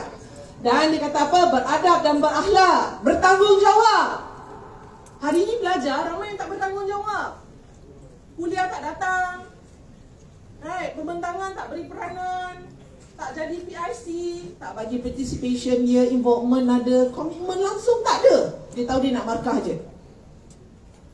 Right? Ada pelajar yang mengira A tau. Hari ni sebab tu saya kata, apa matlamat nak ada transfer? Belajar untuk lulus? Belajar untuk kumpul A? Atau belajar untuk cari ilmu? Nak membangunkan ilmu, semua sama ke? Kami nak semua datuk. Ha, jangan jadi tamat pula kan? Jadi cepat kan eh? saya cepat kan? Right. So ni zaman mahasiswa saya cakap tadi, zaman cari identiti, nak asas skill kepimpinan tu, you become somebody. Ramai tahu ada pelajar-pelajar saya kat sini Dia bangunkan nilai-nilai ini Now they become somebody in the, the, the industry Kenapa tidak anda? Masuk Satan Pelajar Masuk MPP Bangunkan nilai awak Sebab saya kata tadi hijrah Ya? Alright So kita nak memula Kita nak berkenalan dengan cinta Saya cepatkan Di sini cinta awak bermula Right? Cinta awak bermula Right? Kamu nak disayangi dan nak di menyayangi. Sharing, caring, loving. Kita nak membangunkan budaya kasih sayang. Ya? Alright. So itulah dia saya kata personality unggul bagaimana kita nak jadi winning heart and mind transformasikan diri kita dalam benda-benda berilmiah right nak bangun nak bina nak bina diri anda supaya mak ayah anda nampak perubahan dalam diri anda anda sendiri merasakan perubahan tu tadi sebab itu tiga elemen kepimpinan mahasiswa beretika itu kebertanggungjawaban, contoh yang baik dan ada persekitaran yang baik. Sebab apa? Kita duduk dalam persekitaran yang baik. Duduk dengan orang jual minyak wangi, kita bau wangi. Betul? Duduk sebelah tong sampah, kita bau sam sampah. So which one you nak choose? You are the decision maker. Make your choice, the best one in life. Alright? Okay, so ini kebertanggungjawaban, accountability. Right? Ah, ni nak bangun lah ni. Kan bagaimana nak membangun konsep kebertanggungjawaban insan sesama insan dari manusia kepada manusia untuk manusia. Bercakap dengan kawan baik, bertanggungjawab, apa lagi kita nak bantu, tolong menolong. Sebab tu saya suka buat program. Sebab bila buat program, kita bangunkan leadership, kita bangunkan communication, kita pecahkan belenggu dia. Program saya tak duduk macam ni. Program kita mesti ada discussion, mesti ada leader. Itu yang kita perlukan sebagai satu orang kata orang kata pintu pintu pertama dan pintu terutama untuk anda masuk dan membangunkan yang cepat. Saya cepatkan eh. Okay, ini Tuhan cipta insan dan alam. Right, nak jadi ikon tuah yang you tell. Jadi bila orang cakap tuah bukan mak kilau tau. Ya, kita tak ada mak kilau tuah. Tak ada. Right? Maksudnya kita nak membangunkan nilai tuah, akronim tuah you tell. Okey, jadilah pohon yang berbuah lebat di baling batu di balas buah. Subhanallah. Right? So ingat kata-kata ni ya. Jadilah pohon yang berbuah lebat. Right? Di baling batu tapi di balas buah. Subhanallah. Kan? So ambil pemikiran dalam tentang ayat ini. Ya? Alright. So saya cepatkan. Inilah kita tahu, kita buat, kita nak jadi insan sebab kita bercakap tentang hijrah, kita bercakap tentang leadership, kita bercakap tentang etika, kita bercakap tentang bangsa. Alright? So kita nak bangunkan nilai-nilai ihsan. Cipta diri untuk jadi orang yang berpengaruh. Kita nak jadi magnet, duduk sebelah orang. Kalau kita duduk tengah-tengah, kawan kita bila kita duduk, dia tak ngantuk sebab kita. Kan? Ada yang nak mula terlelap. Okay? Okay. So dia kata life begins at the ends of your comfort zone. Keluar belenggu, keluar, keluar, keluar. Right? Jangan duduk dalam kepompong yang sama. Alright. Okay. Keluar. Okey, saya cepatkan eh. Ini analogi 4K tadi yang saya kata terlalu intim dengan mahasiswa. Cafeteria, kuliah, kuliah, cafeteria. Cafeteria, katil, katil, komputer. Lepas tu tidur. Okey, good. Alright. So apa matlamat anda nanti awak cari? Mampu nak mengubah orang biasa nak jadi luar biasa. Ni orang biasa ni, awak ni orang biasa ya nak jadi orang yang luar biasa. Dan orang yang luar biasa nak jadi hebat. Great. How to groom you to become great people? Is on you. You are decision makers. Alright. Anda itu apa yang anda fikir itulah diri anda. Saya cepatkan sebab saya nak bagi laluan kepada Dato' Hatta. Alright, so please change. For things to change, you need to change. Alright, cermin diri anda. Okay, tak apa insyaAllah. Mudah-mudahan nanti degree kita jumpa saya hadiahkan anda cermin masuk kuliah saya sebelum start kuliah kita tengok cermin dulu right uh, so cermin-cermin di diri kata arwah irham aziz Zaisa okay alright so inilah KI yang paling penting dalam diri awak belajar dengan fakulti betul itu ilmu fakulti tetapi ilmu ini package anda package anda industri nak ilmu ni juga supaya dia boleh jadi pay, package yang baik alright Okey, ini persekitaran, alright. Yutam ni cantik, sangat cantik. Right? Uh, belajar mencintai persekitaran ni tadi universiti kita cantik. Universiti kita baru. Di sini bermulanya cinta. Ya?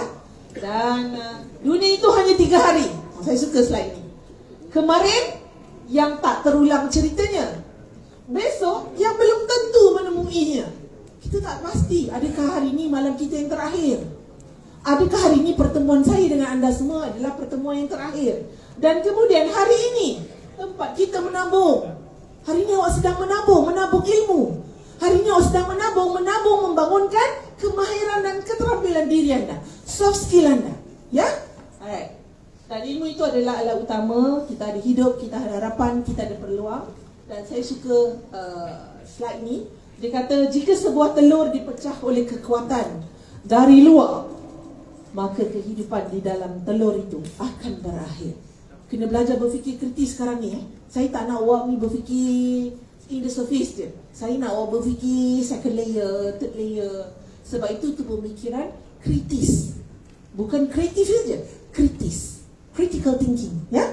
Dan tetapi jika sebuah telur dipecahkan oleh kekuatan dari dalam, maka kehidupan baru telah lahir.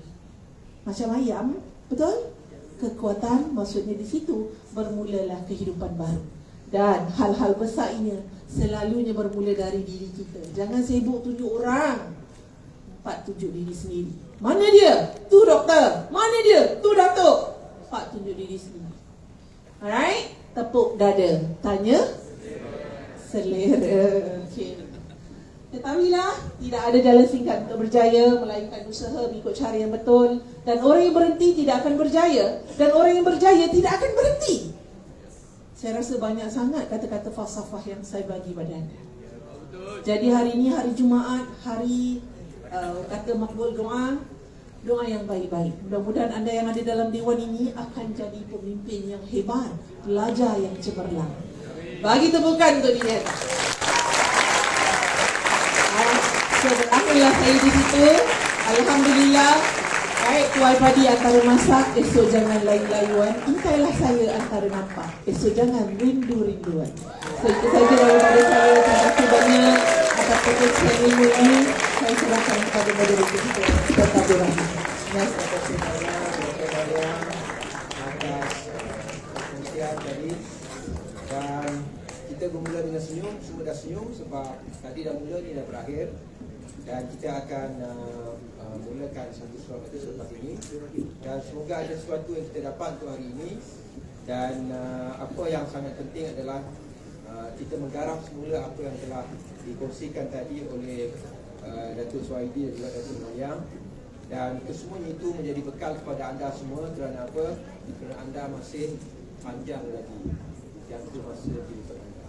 Kami semua dah tua, kami sikit je sudah masa. Tapi anda masih masih panjang eh.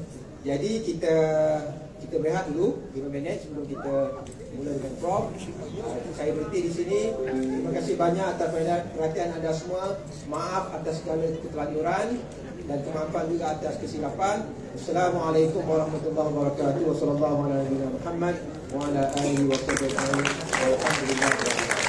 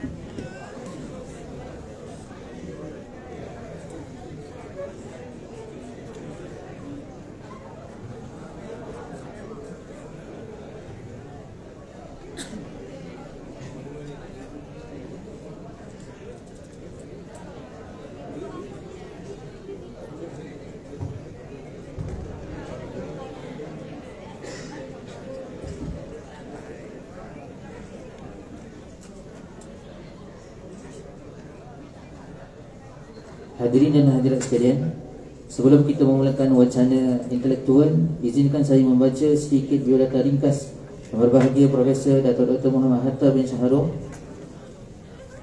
Beliau lahir pada 9 Julai 1992 Seorang doktor pakar sekretari dilatih di Mesir, Malaysia dan Australia Mempunyai diploma pemikiran Islam Institut Pengajian Islam Ilmu-Ilmu Islam Malaysia 1990 Penulis berbagai genre, penulis tunggal serta penulis bersama lebih 40 buah buku bahasa Malaysia dan bahasa Inggeris termasuk judul berkait psikoteri, psikologi dan perubatan Islam, bantuan kemanusiaan antarabangsa, koleksi puisi bahasa Melayu dan bahasa Inggeris, cerpen dan novel bahasa Melayu.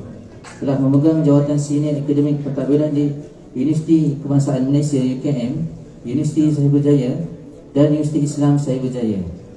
Kini Profesor Pelawat di UOC dan Profesor Adjung di Universiti Teknikal Universiti Teknologi Malaysia UTM telah mengas telah mengasaskan dan memimpin beberapa buah pertubuhan bukan kerajaan NGO, Fellow Akademik Perubatan Malaysia dan Akademik Profesor Malaysia, mantan pengerusi lembaga pengelola Julai, Dewan Bahasa dan Pustaka, Kini pengerusi Lembaga Pembangunan Amanah Yayasan Ikram Malaysia Kini tibalah masa untuk kita bersama-sama mendengar dan menghayati wacana intelektual, psikologi keluarga dan pembangunan ilmu dalam peradaban yang akan disampaikan oleh yang berbahagia Profesor Dato' Dr. Muhammad Hatta bin Syahrul Profesor Adjung Universiti Teknikal Malaysia Melaka Majlis dengan segala hormatnya mempersilakan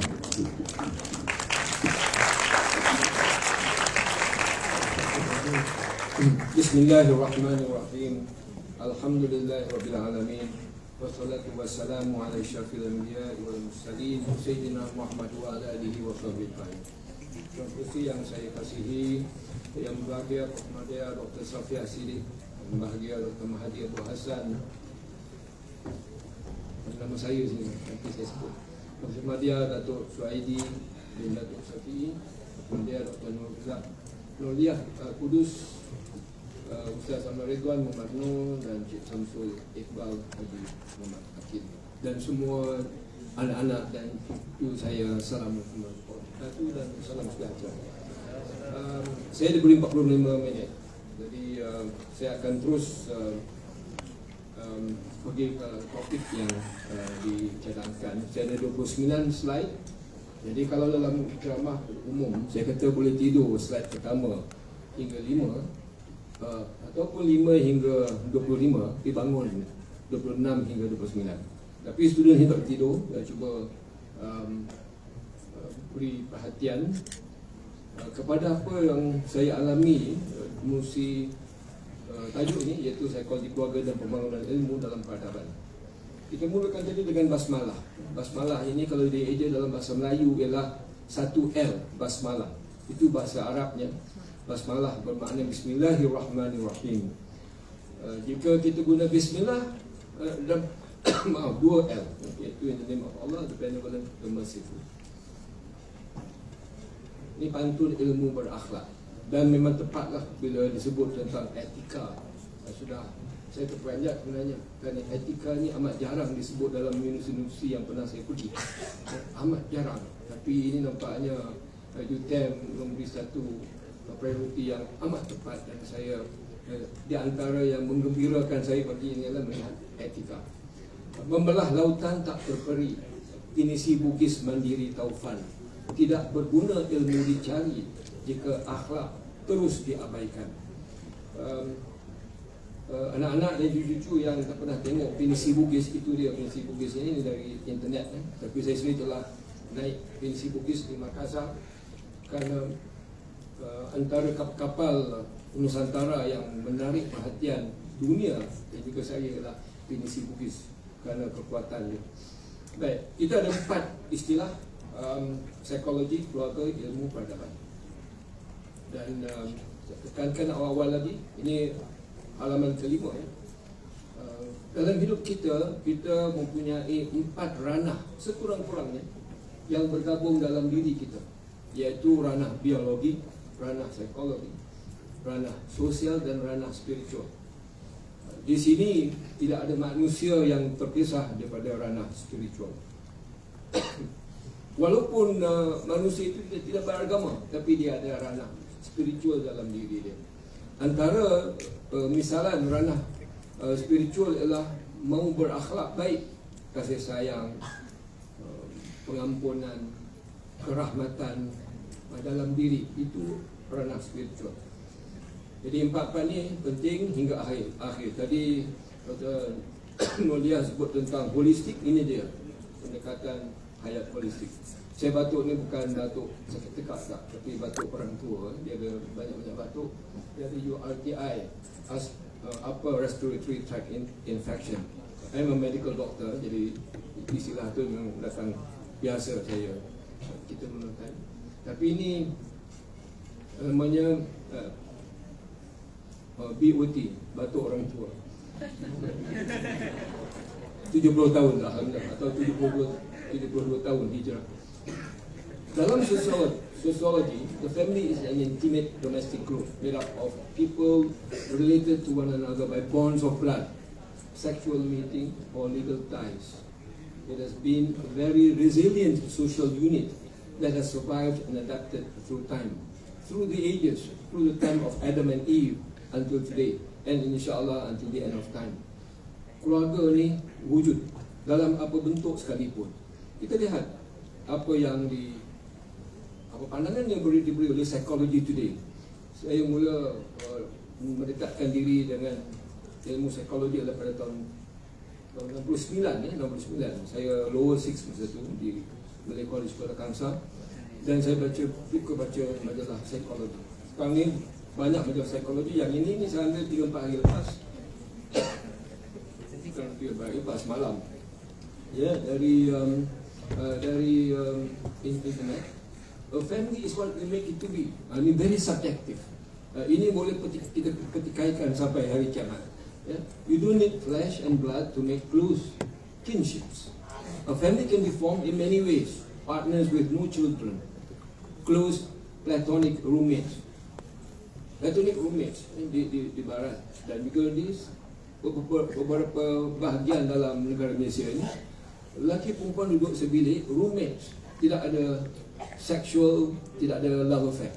Tak ada. Itu namanya platonic um, uh, roommates. A man and his dog, a woman and, and his kitten.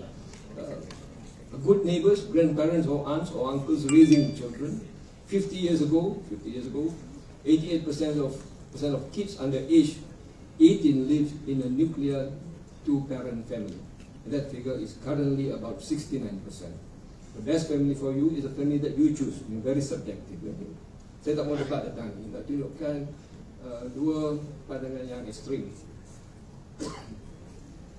Kita ada keluarga yang uh, functional.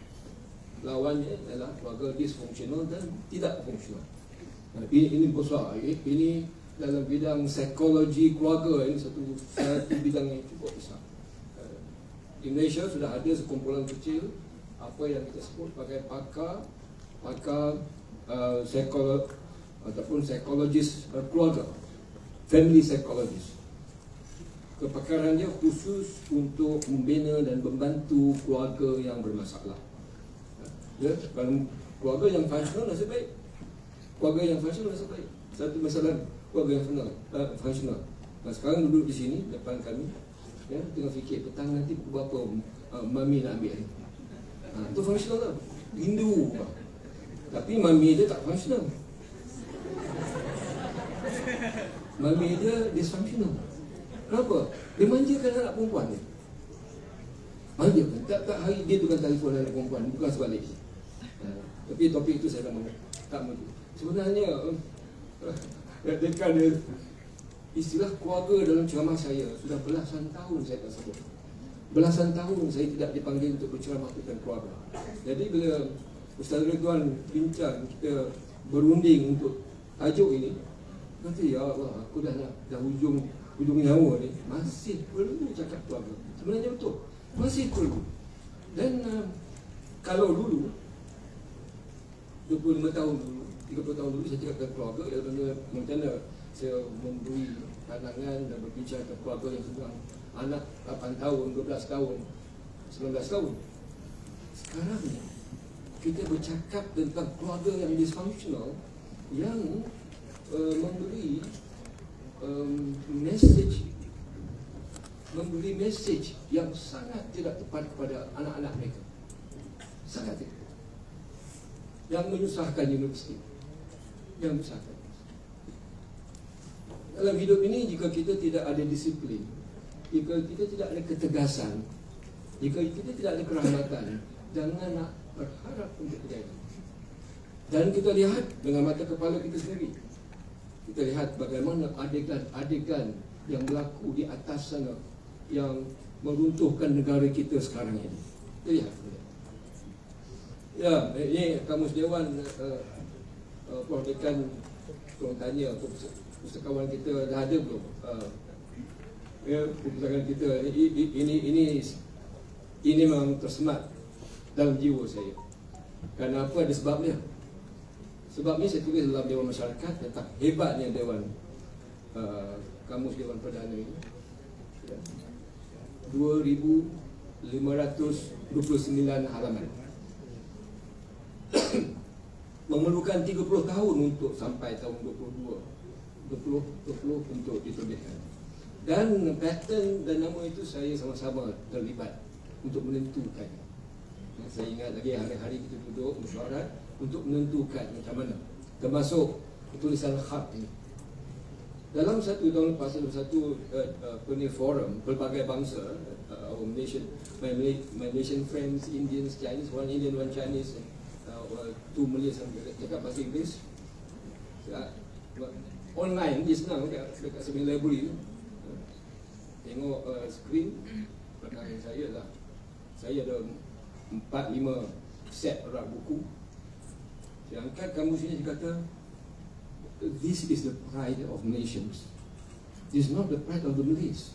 Because it's being published by DBP Kuala Lumpur Not DBP Brunei Dan ini sekarang ni dia setanding dengan Kamus besar bahasa Indonesia Setanding Malah lebih lagi ya. Jadi apa yang saya di sini Peradaban dalam Kamus Dewan uh, 2020 keadaan atau tingkat kehidupan yang maju dari segi fizikal, mental dan rohani. Mental dan rohani, rohani ini penting. Dan juga disebut sebagai uh, tamadun. Dan dua daripada kawan saya ni dalam yang berforum tu, kemudian dia beli buku ni, tu tu dia WhatsApp saya. Uh, doktor ada, doktor. Uh, I, I bought the book, orang. Yeah? One, one Chinese friend, one Indian friend. Semangat. Bahasa Melayu ni bahasa kita. Bahasa Melayu bahasa kita. Yeah?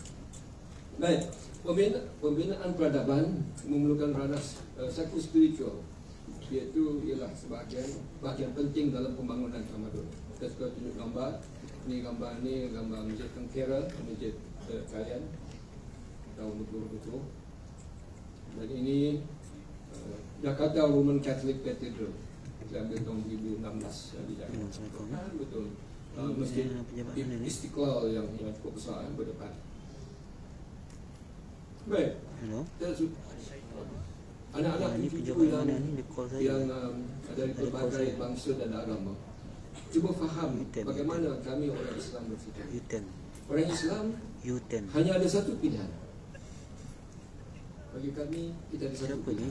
Orang Islam. tapi bagi kami juga manusia ada satu pilihan. Nak ikut jalan Tuhan yang kita panggil sebagai Allah. atau nak bantu rumah ke apa ke ni? Dia bukan dua-dua pilihan tak? Antara you, you, have, you have to choose either or not both kerana jalan Allah Allah itu Al-Kabir Maha Besar. Allah the Great. Allah itu Al-Mutakabir Al-Mutakabir maknanya penyempurna keagungan, kebesaran. The perfecter of majesty. Allah itu dengan Allah itu tariknya, jalannya adalah tar- tarik Rabbani iaitu the divine path. Orang Islam, orang beriman pilih the divine path. Sebaliknya syaitan dia takabur, arrogant. Manusia yang takabur, arrogant, dia ikut syaitan. Dia syaitan dalam kalangan manusia. Di Melaka ada. Di Melaka ada orang yang takabur. Di Selangor, di seluruh Malaysia ada. Orang yang takabur, dia ikut iblis dan dia jadi syaitan dalam kalangan manusia. Dan uh, syaitan ni dia kibria. Dia, ini dia punya uh, sifat dia. Tadi takabur, arrogance, kibria, bongkak, haughtiness. Atarik syaitan ni. Atarik syaitan ni. Iaitu jalan syaitan. Jadi anak-anak cucu-cucu yang beriman kita pilih satu jalan. Jalan the divine path, not the satanic path. Jadi keluarga ke, belajar ke, politik ke, siasat ke, dalam Islam, apa saja bidang kehidupan dalam Islam, kita menuruti maqasid syariah. Maqasid syariah bermakna objektif syariah untuk penjagaan apa? Lima perkara. Untuk penjagaan agama, ad-din, penjagaan penjagaan nyawa atau jiwa, an-nafs, penjagaan akal, al-aql, keturunan an-nasab dan harta, al-mal. Islam menekankan kita jaga ini semua, termasuk harta kita. Termasuk harta kita. Tapi yang pertama itu agama. Agama Islam itu jangan dikacau. Agama Islam itu jangan dipokotak hati. Dan uh, jiwa kita, nyawa kita kena jaga. Akal kita, kesihatan akal kita. Dan uh, sejak tahun 80 uh, empat kan, 84 saya aktif dalam bidang psikiatri hingga sekarang. Memang akal manusia ini satu satu realiti yang mesti dijaga kerana jika tidak dijaga dia menjadi akal yang tidak matang. Bila akal yang tidak matang banyak kejahatan berlaku dalam hidup dia dalam suami isteri atau dia dengan kawan-kawan atau keluarga dan juga negara. Kita lihat apa Gautama Buddha sebut dalam Samyutta Nikaya. When watching after yourself, you watch after others. When watching after others, you watch after yourself. Ya, ini tepat, tepat. Dari zaman ke zaman, lebih tepat untuk zaman COVID ini. Eh, Kita menjaga, Eh, kita menjaga. Saya ni saya suka melihat anak-anak pakai pelitup muka. Saya suka. Ya. Kerana apa? You take care of yourself, you take care of others and vice versa. Dua wajah dunia. Jadi di leadership. Kita tekankan leadership. Jangan lupa followership. Uh, Don't forget followership. Kepengikutan. Dalam dunia ni tak banyak khusus tentang uh, uh, kepengikutan. Kepengikutan ni sangat penting. Sangat penting. Good followers make great leaders. Lousy followers, they become lousy leaders. In fact, they become accidental leaders. Kebetulan dia jadi leader dan porak-poranda dia buat. Dan saya tak mau pergi dalam kerana ada dalam itu ada personality. Baga- Bagaimana kalau orang itu obsessive compulsive compulsive personality OCD. OCD dah penyakit lah. Kita OCD personality OCD. Anxiety, depression dan macam-macam lagi. Jadi kepen- kepengikutan penting. Dan ini dua wajah dunia. Kebaikan berakhlak, ilmu dengan amal. Kebaikan tercemar, ilmu tanpa amal. Dan uh, kebetulan beberapa hari yang lepas saya fikir tentang mula-mula saya ingatkan tentang leadership dengan uh, di sini ni pun uh, topik saya tentang leadership. Jadi saya nak tunjuk ke two sides of leadership. Tapi saya ca- cari mata wak yang koleksi koleksi almarhumah bonda saya. Tahun ni tahun 53 kan, 53. Saya baru satu tahun masa tu. Dan Masa tu kita bawah British. Inilah duit kita yang kita guna. Dan ini 5 sen. ya. 5 sen sekarang dah ni harga dia 5 sen ni sekarang dah jadi 60 ringgit lah. Dah 70 ringgit. Ya. Nak tunjuk kecil mana tu tunjuk uh, pen mata pena tu tunjuk. Baik. Dalam Quran ada sebut yauma la yanfa'u malun wala banun illa man atallaha biqalbin salim.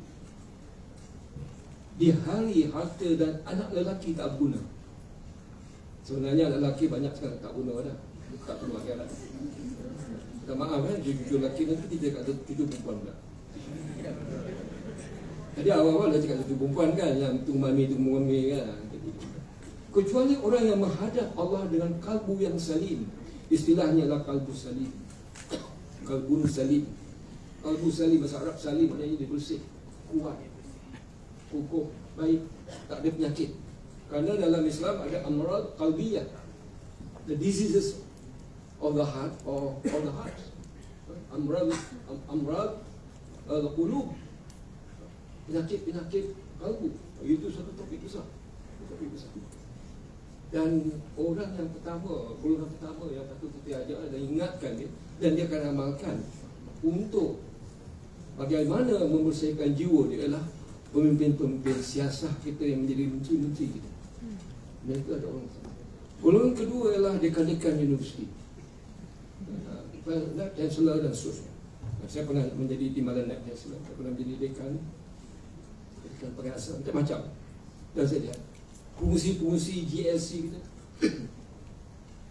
Alhamdulillah saya pernah duduk sebagai pengusi bukan diminta dipilih selama 22 bulan saya tengok mana kuasa kuasa dan antara uh, nokta yang saya lakukan saya tuliskan ni adalah jangan sayang kursi yang kau duduk jangan ini sementara amat sementara. Baik, ini sebuah hadis. Sahih. Sesungguhnya dalam jasad ada daging. Jika jika baik seluruh jasad baik dan jika fasad seluruh jasad fasad sungguh sungguhnya adalah qalb. Saya tak gunakan istilah hati. Hati ini bahasa Melayu biasa. Satu Nusantara guna hati. Orang Maori pun guna hati-hati. Ada orang Maori. Jadi dia rumpun Melayu Polinesia kan. Saya tak gunakan apa sebagai doktor perubatan. Saya tak mau orang keliru antara hati, liver dengan jantung. Saya gunakan istilah kalbu. Jadi secara fizikal jantung kita jika baik, baik seluruhnya. Secara spiritual, ya, yang dahsyat spiritual tu. Jantung kita, maaf, kalbu kita telah kotor, kotor. Pensyarah yang kalbunya kotor. Anak murid tahu. Anak murid tahu. You all tahu. You all sudah masuk al, baru masuk alam dewasa. Ya, saya cakap tentang pensyarah dulu. Kerana nak muhasabah anak-anak, kena cakap pensyarah dulu.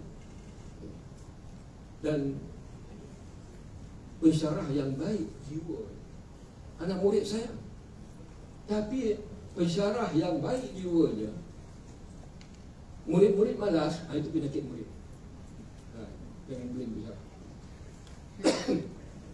Pembangunan ilmu memerlukan kemantapan psikologi, kognisi. Psikologi maknanya dua asas, banyak lagi, dia pecahan banyak. Kognisi dan emosi. Human psychology consists mainly of emotion and cognition or cognition and emotion. Cognition is the faculty of thinking. Emotion is a feeling, perasaan. Sokongan sosial, keluarga masyarakat. Kesihatan ekofisikal, dalam keadaan yang cukup selesa yang cukup selesa Alhamdulillah kita Malaysia banyak tempat yang selesa banyak tempat selesa di, di kampus kampus kita yang menarik hijau kita pun dah cukup lah. Untuk orang datang di negara-negara pad- padang pasir dia tengok hijau kita ya ada kawan saya dia ni cerita tahun 80-an Tuhan dari lagi negara Arab kata kamu tinggal seluruh Malaysia ni adalah taman. Kamu tinggal dalam taman. Kita kalau kita, kita hidup dalam dalam Malaysia ni tak hari tak pasal di taman. Dan kekayaan spiritual, kerohanian, keinsanan. Keinsanan. Keinsanan ni goes across, across cultures and religions. Ya, ada hadis Rasulullah maksud dia, saya baru baca tiga ayat pas disampaikan oleh sahabat baik saya dari UT, uh, UT dari UTM dan juga dari Ikram Johor. Uh, sa- satu hadis satu hadis. Maksudnya begini, maksud umum ya. Kalau kalau orang itu tidak menyayangi orang itu tidak sempurna imannya jika dia tidak menyayangi insan. Bukan dia kata menyayangi orang Islam, orang beriman. Saja. Orang beriman Islam itu banyaklah tentang itu. Tapi insan. Kita tengok insan yang susah. Dengan kerana, okey, kita Melayu, kita Islam, aku diamlah kita. Saya kita Melayu. Ini satu penyakit baru di Malaysia. Saya orang Melayu, saya orang Islam, orang Jawa Melayu. I'm proud to be a Malay bahasa saya bahasa Melayu, bahasa Melayu bukan bahasa Malaysia mengikut menurut uh, pasal 152 perlembagaan Malaysia ya DBP sekarang sedang mengorak langkah untuk menukar akta DBP nanti DBP boleh saman orang salah guna. Hmm. saya tunggu masanya. Mantan kursinya menunggu masanya. Kita pergi setengah tempat tu macam negara China. Setengah tempat. Yes sensitif. Sensitif. Ya tapi saya cukup sayang dan hormat kawan-kawan saya orang Cina, orang India, penyajak penyair, pakar bahasa. Saya tak mahu sebut nama mereka. Saya baru kenal mereka dalam 4 tahun ini. Ada. Ya. Oh, orang Cina, orang India, pakar bahasa Melayu. Dan satu mereka kata apa? Ni dalam forum tahun 2019. Kata, Prof, Orang tanya saya, ni bahasa ni bahasa Melayu ke bahasa Malaysia? Saya ada kontak banyak luar negara. Orang luar negara tanya, is this bahasa Melayu or is it bahasa Malaysia? Saya saya kata bahasa Melayu. Dalam keluarga ahli keluarga ramai. Dalam Malaysia banyak banyak apa bahasa. Ketuanya bahasa Melayu lah dia kata. Ha, begitu juga. Ni dua-dua non muslim. So, uh, dan ini saya sebut nama dia ada tu uh, pemenang Sirat Southeast Asia Right kawan boleh ya? hebat bahasa ini soal lagi orang Cina ini saya bahasa Melayu bahasa Melayu itu sudah zaman ke zaman? Di sini. Yang disebut bahasa Melayu yang membawa Islam sama-sama. Dan dia orang non Muslim dia kan bahasa sedih sangat. Nak bahasa Malaysia bahasa Malaysia.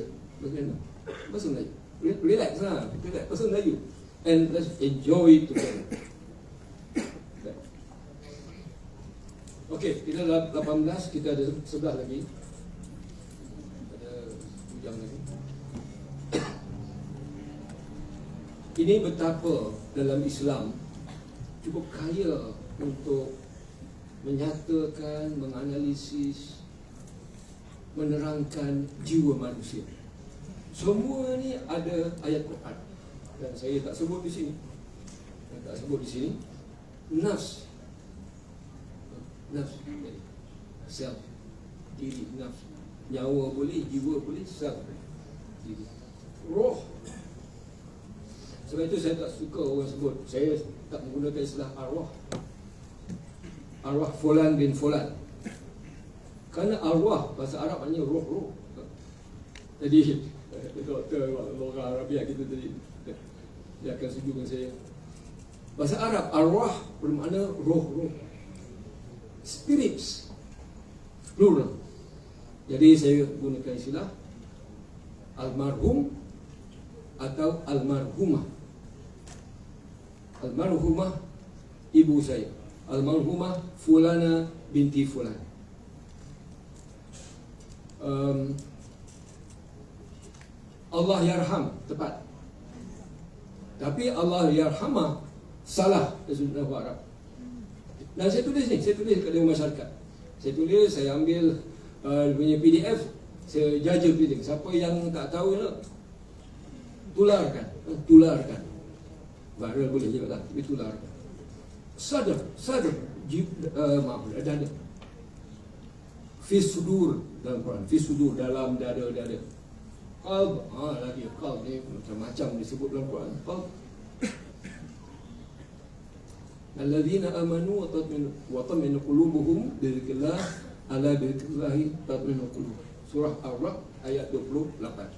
Surah Ar-Ra'd the thunder. Itu mana thun- the thunder atau guntur atau buruh. Ayat 28. Bermaksud sungguhnya orang-orang yang beriman itu tentram kalbu-kalbu mereka dengan zikrullah. Hmm. Uh, Sungguhnya dengan mengerti Allah itu mententeramkan kalbu-kalbu. Fuad, Fuad ini amat jarang. Saya tak tak, tak jumpa tulis tentang Fuad. Tapi dalam Quran men- menceritakan semangat ibu Musa alaihissalam yang melepaskan bayi dia dalam bakul di atas sungai Nil.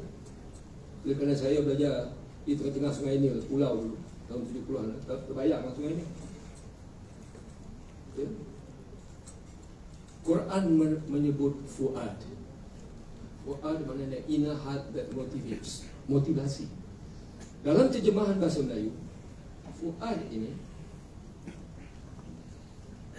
ramai yang tawaduk lah tidur. Saya tak marah? Ah,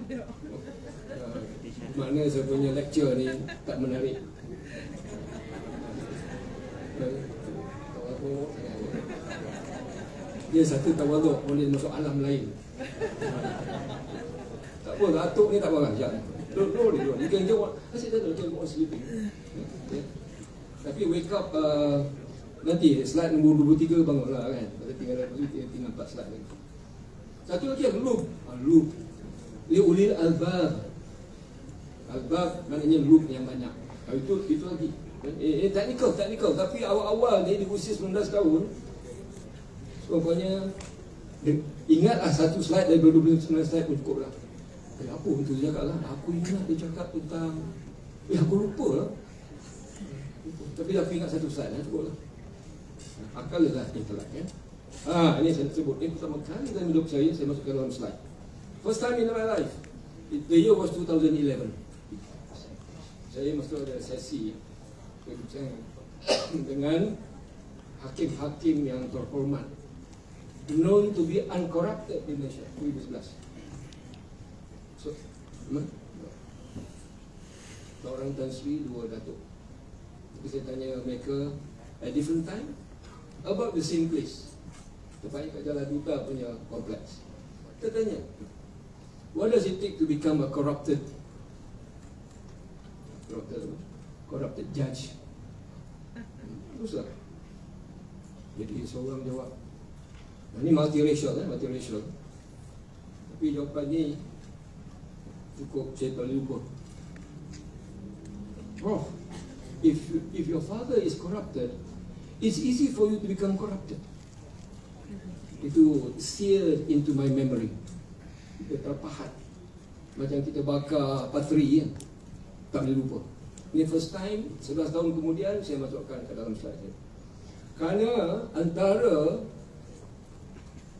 antara mereka yang memusnahkan negara kita yang tercinta kita sebut tentang etika sebut tentang bahasa sebut tentang supaya kita jadi leader apa tapi yang atas sana umurnya 40-an, 50-an, 60-an adalah yang corrupted dan kebetulan selama 3 tahun saya dilantik sebagai ahli panel perunding dan pencegahan SPRM. Tak pasal-pasal Datuk dapat surat. Tak pasal-pasal. Ini kita uh, dari 2016 hingga 2019. Yang lantik siapa? Oh, lantik hebat. Tahu siapa lantik saya? Perdana Menteri lah. Najib Razak lah. Siapa lagi? Ha, ya? What happens now? Dan kami lah Berapa orang dalam 10 orang Tiga tahun Yang pertama Dia suka dengan kerja ni Tiga Dia tambah lagi tiga tahun Dan dalam tulisan saya Sidang harian 4-5 atau awal tahun ini 4-5 bulan lepas Sinar harian. Dia sebut. Tajuk dia, selagi SPRN makan gaji dengan JPM. Selagi SPRN makan gaji dengan JPM, janganlah harap.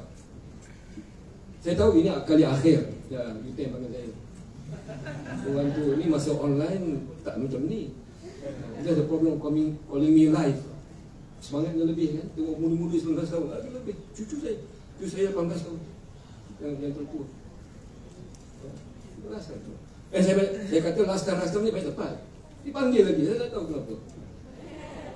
Ya, apakah pandangan keluarga? Keluarga meningkatkan kepercayaan diri kita dan membuat kita berasa dikasihi. Keluarga menjadi tiang kekuatan kita dan menjadikan kita kuat dan lebih baik. Keluarga mengajar kita nilai-nilai cinta, iman, harapan, kepedulian, kepedulian kepada kepada segala makhluk yang hidup, makhluk Tuhan. Kucing, anjing, uh, uh, babi, buaya, uh, buaya. Buaya, buaya tu muslim ke buaya kerja dia tentu tak. Dia kenyang dia termenung. Bila nak mengawal dia, dia, dia menggatal. Ha, bila lapar dia dia kacau. Itu je. Dia tak, tak, tak buat kacau. Tak ada korupsi, tak ada uh, apa, tak, buaya best. Uh, khinzir, khinzir kan? Kerja dia menyodok ya kan? Tamak menyodok Jadi kita orang Islam itu salat, wajib salat.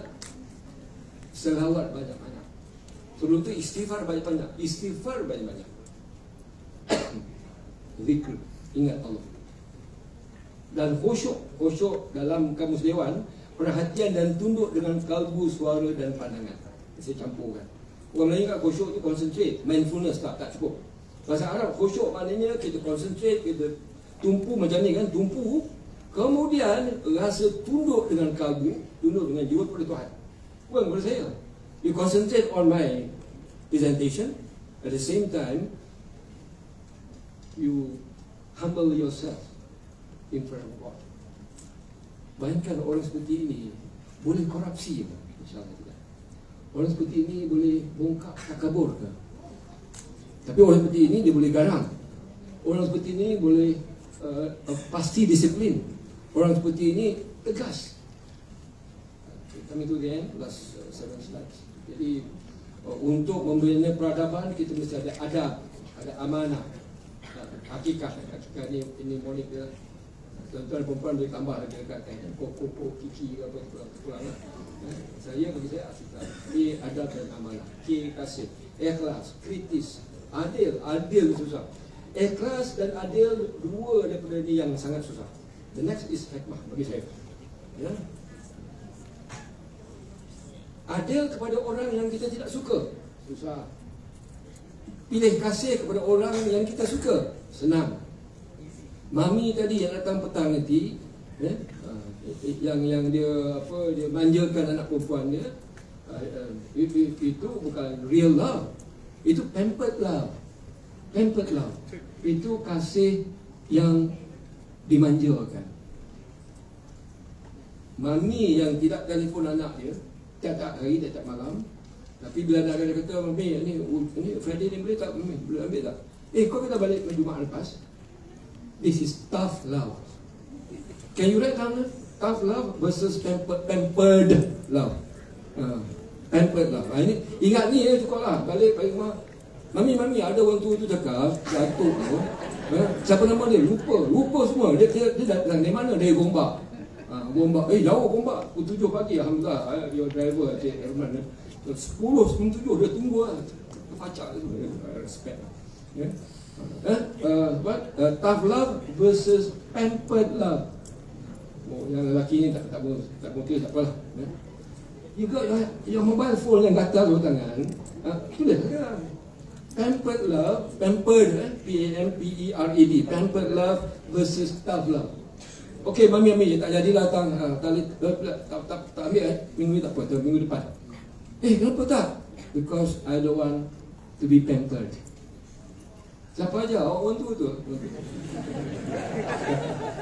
Okey, ini hadis my favorite hadis. Saya jumpa hadis ni dekat England. Di England saya jumpa maksud hadis ini. England tahunnya 2009 ke 2010. Uh, panjang sikit. There are four qualities such that if you have them, will not harm you to be deprived of anything in the world. Apa dia? Satu, hifzu amanah. Hifzu amanah. Penyimpanan amanah. Kedua, sidqu hadis. Ucapan benar. Dalam dunia sekarang, trend. Trend, T-R-E-N-D. Eh. Ini, ini istilah baku, trend. Bukan T-R-E-N. T-R-E-N itu trend, trend. Lokomotif. ini trend, T-R-E-N-D sekarang. Cakap bohong itu jadi orang suka. Memang ini zaman zaman pancaroba lah. Jadi kita nak akhlak baik mesti jaga amanah. Cakap benar. Nabi sebut, Rasulullah SAW sebut ini dua. Dan kalau, kalau saya kata bukan Rasulullah SAW sebut, ini uh, Gautama Buddha sebut, orang percaya. Pasal mana agama tak suka simpan amanah? Mana agama tak suka cakap benar?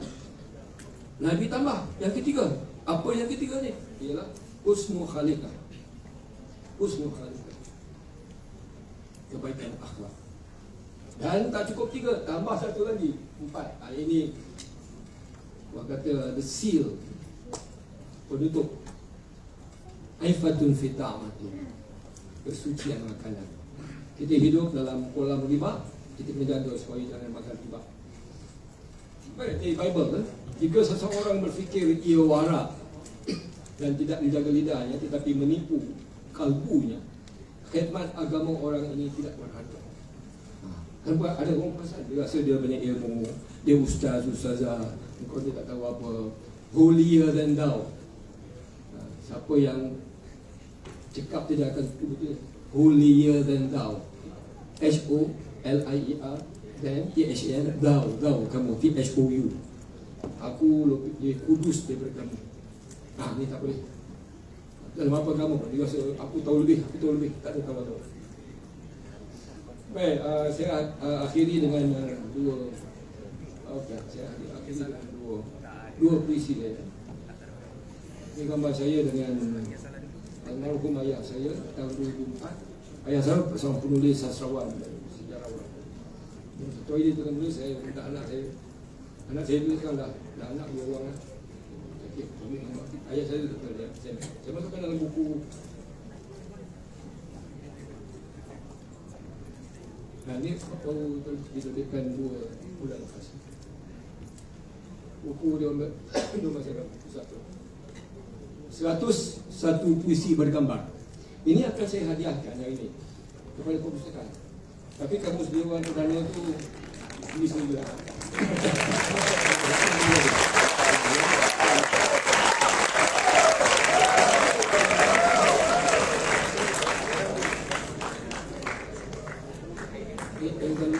last uh, five minutes, we all bertepuk, okey lah.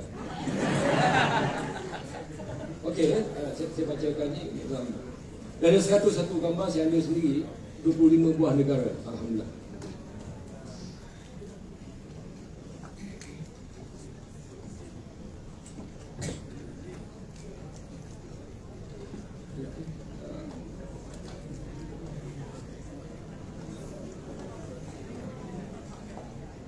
Namanya adalah anak perempuan. Puisi ini ditulis pada tahun 96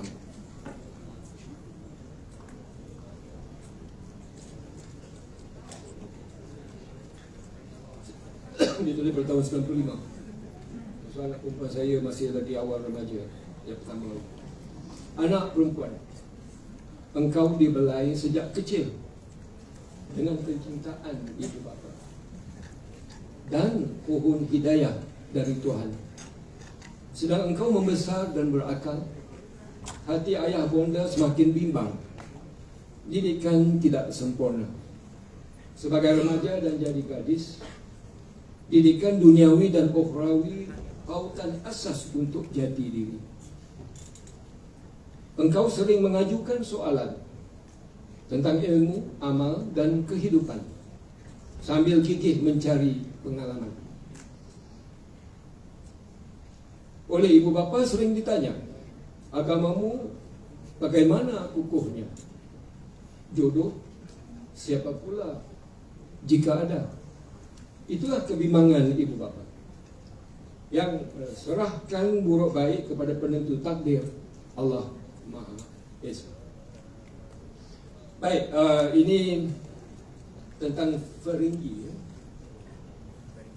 Okey, saya nak bagi hadiah RM10 sekarang. RM10. Eh, siap? Saya tanya satu soalan. Saya tanya satu soalan. Tapi dah ada sikit ni. Ada minit, ada minit. Feringgi kan tahu? Tahu Feringgi? Angkat tangan terus siapa yang tahu? Kalau ramai nak katakan RM5 ni. Feringgi ni dari perkataan apa? Lima saat. Feringgi dari perkataan apa? Lima, empat, tiga, dua, selamat. Ah, selamat RM5 ni.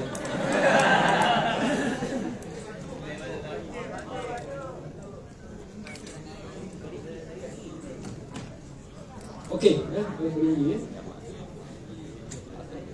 Itu halus sangat saya baca di sini.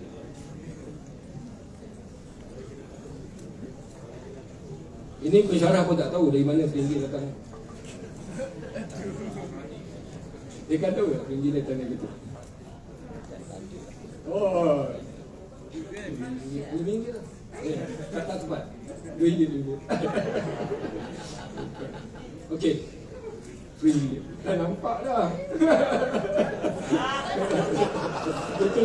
Pada thinking smart, thinking smart. Eh, Feringgi. Namu, namamu Franz dan Francia daripada istilah Frank berbunyi Franci dalam bahasa Latin.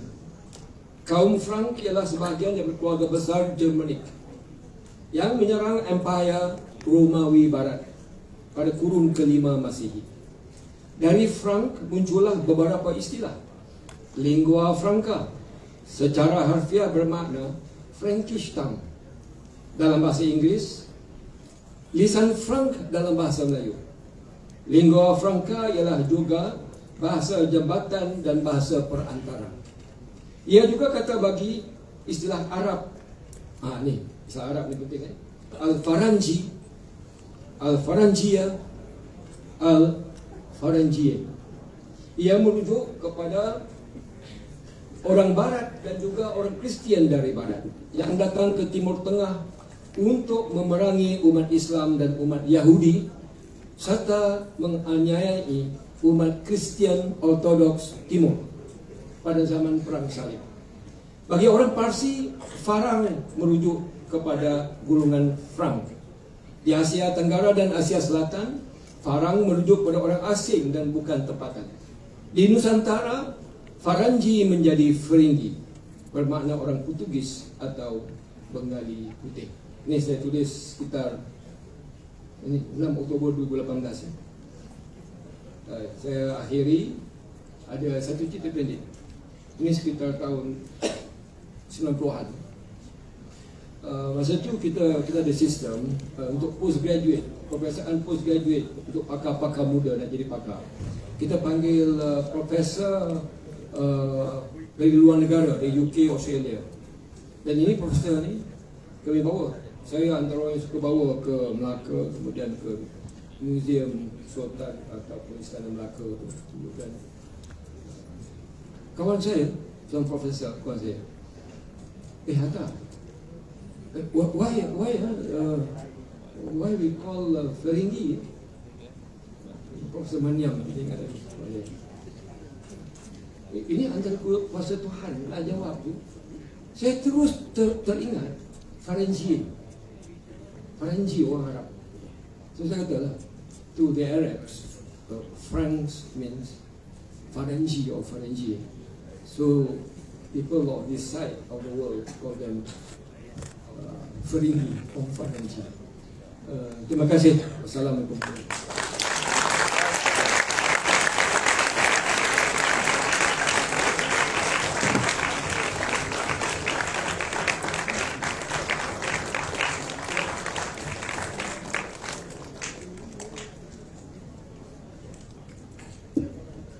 Terima kasih diucapkan kepada yang berbahagia Profesor Datuk Dr. Muhammad Hatta bin Syaharo Profesor Adjung Universiti Teknikal Malaysia Melaka atas wacana intelektual yang telah disampaikan sekitar tadi. Dijemput yang berbahagia Profesor Datuk Dr. Muhammad Hatta Misharum untuk berada di kerusi utama di hadapan berkas sebelum kita memulakan majlis perasmian penutup sebentar lagi. Terima kasih. Terima kasih.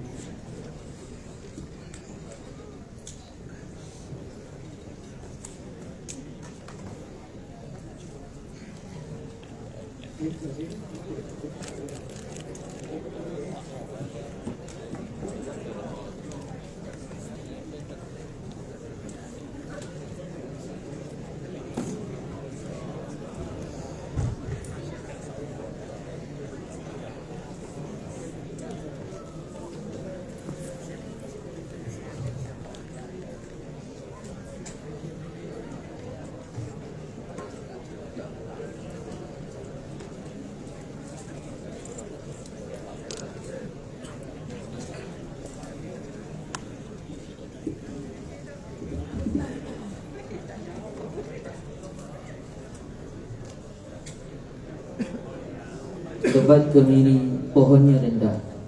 Dahan terikat tali perkasa. Sepuluh jari kami menadah Mohon berkat yang maha esa. Dengan segala hormatnya Majlis mempersilakan Ustaz Muhammad Ashraf bin Sulaiman Untuk memimpin bacaan doa. Dipersilakan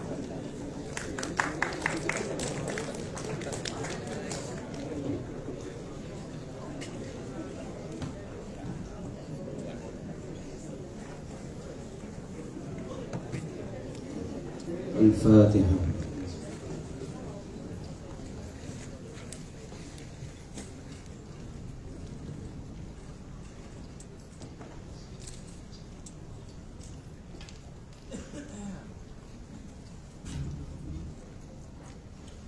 أعوذ بالله من الشيطان الرجيم. بسم الله الرحمن الرحيم. الحمد لله رب العالمين. والصلاة والسلام على أشرف الأنبياء والمرسلين وعلى آله وصحبه أجمعين Segala puji bagi Allah Tuhan sekalian alam Selawat dan salam ke atas junjungan besar Nabi Muhammad sallallahu alaihi wasallam Para sahabat baginda dan mereka yang mengikutinya hingga ke hari kiamat Allah, Ya Allah, Ya Tuhan kami Di pagi Jumaat yang penuh keberkatan ini kami berkumpul dan berhimpun bersempena program kolokium memartabatkan pembudayaan ilmu. Kami menadah tangan memuji dan bersyukur di atas limpah rahmat dan nikmat serta hidayahmu kepada kami. Ya Allah, Ya Rahman, kurniakanlah kami taufik dan hidayahmu, lisan yang lembut basah mengingatimu dan menyebut namamu, hati yang penuh segar mensyukuri nikmatmu, serta bimbinglah kami semua ke arah ketakwaan, kecemerlangan, kejayaan dan kesejahteraan di dunia dan di akhirat. Ya Allah, Ya Rahim, Engkau perkuatkan perpaduan di antara kami. Engkau jauhkan fitnah dan kekacauan daripada kami. Engkau perbaiki hal ehwal dunia dan akhirat kami. Engkau pandulah kami untuk mendapat jalan yang lurus dan engkau bersihkanlah amal pekerjaan kami selama ini. Sesungguhnya engkaulah yang maha berkuasa lagi maha mengetahui. Ya Allah, Ya Rahman Engkau bukakanlah pintu ilmumu ke atas kami Dan engkau redakanlah segala ilmu kurniaanmu ke atas kami Agar kami memperolehi ilmu pengetahuan yang dapat meningkatkan tahap kecemerlangan kami untuk menjadi manusia yang berkepribadian unggul. Allahumma ya muhtadi, kami juga memohon kehadratmu agar engkau kekalkanlah kejayaan yang selama ini kami kecapi. Engkau mantapkanlah prestasi kecemerlangan kami dan engkau perkuatkanlah keazaman kami. Semoga dengan ini kami akan terus menuju ke puncak kegemilangan. Berilah kesihatan yang berpanjangan kepada kami agar kami dapat terus memberi sumbangan kepada kejayaan diri kami dan yutan yang kami kasihi. Allahumma ja'al jam'ana haza jam'an marhuma wa tafarruqana min ba'dihi tafarruqan ma'suma wa la taj'al fina wa la ma'na syaqiyan wa la mahruman wa la matruda. Rabbana atina fid dunya hasanah wa fil akhirati hasanah wa qina 'adzaban nar. Wassallallahu ala sayyidina Muhammad wa ala alihi wa sahbihi wa sallam. Walhamdulillahi rabbil alamin. Taqabbalallahu minna wa minkum.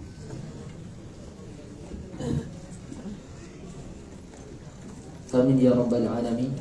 Majlis merakamkan ucapan terima kasih kepada Al-Fadhil Ustaz di atas pimpinan bacaan doa sebentar tadi. Semoga kita semua yang berada di dalam majlis ini mendapat keberkatan serta keredaan dari Allah Subhanahu wa taala. Emas tempawan buatmu putri, busana indah buat rupawan. Sudilah tuan tampilkan diri bersama ucapan kata aduan. Majlis dengan segala hormatnya mempersilakan yang berbahagia Dr. Mahadi bin Abu Hasan Pengarah Besar Islam Universiti Tadika Malaysia untuk menyampaikan ucapan aduan. Dipersilakan.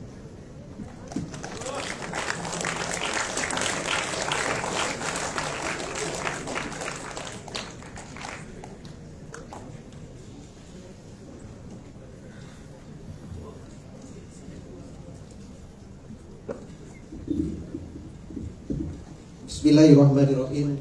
Assalamualaikum warahmatullahi wabarakatuh. Dan selamat sejahtera. Yang Terima kasih uh, kepada pengacara majlis Ustaz Izham. Uh, Yang berbahagia Ustaz Ashraf uh, Kerana membacakan doa tadi. Alhamdulillah pagi ini Yang dihormati lagi dikasihi Yang berbahagia Profesor Madya Dr. Safia Siddiq Dekan Institut Pengurusan Teknologi dan Keusahanan Yang juga merupakan dekan saya yang bahagia Dr. Zawiyah binti Mat Timbalan Dekan Pengajian Suazat IPTK UTM Yang diraihkan yang berbahagia uh, Datuk Profesor Dr. Muhammad Hatta Syarum eh, Penceramah jemputan uh, Wacana Intelektual pada pagi ini yang bahagia Selamat datang Datuk ke UTM Datuk datang dari jauh Ombak Datuk eh. Terima kasih Datuk kerana sudi bersama-sama dengan kita uh, Yang berbahagia uh, Penceramah kita juga uh, Datuk Profesor Madya Dr. Nolia Kudus motivator yang hebat pagi ini dan telah berkongsi dengan anda. Terima kasih atas perkongsian pagi tadi. Yang bahagia sahabat saya Ustaz Ahmad Ridwan, Ketua Jabatan. Eh, sahabat saya Cik Samsul Iqbal, Ketua Bahagian Pentadbiran eh, Pusat Islam UTM. Eh, rakan-rakan pensyarah dan rakan-rakan pegawai-pegawai saya pada pagi ini secara kolaborasinya Pusat Islam UTM bersama Institut Pengurusan Teknologi dan Keusahawanan pada pagi yang pagi ini kita ada Ustaz Lokman, uh, Ustaz Izam, Ustaz Ali dan Puan Noliza. Uh, dan Alhamdulillah eh, sidang hadirin yang diraikan pelajar-pelajar yang saya kasih sekalian. Mudah-mudahan pagi ini baik, amat baik, sangat baik. Anda hebat, saya hebat. Oh yes. Dan saya mengambil kesempatan aluan-aluan pagi inilah. Nak tutup dia kena semangat sikit. Pelajar-pelajar saya tahu. Eh? Jadi apapun uh, saya uh, mengucapkan terima kasih uh, kepada rakan kolaborasi saya uh, Institut Pengurusan Teknologi dan Keusahawanan yang bagi dekan uh, Ustaz Ahmad Ridwan dan lain-lain dan juga kepada seluruh uh, pelajar-pelajar program diploma semester khas permulaan. Berikan satu tepukan gemuruh pada diri anda hari ini.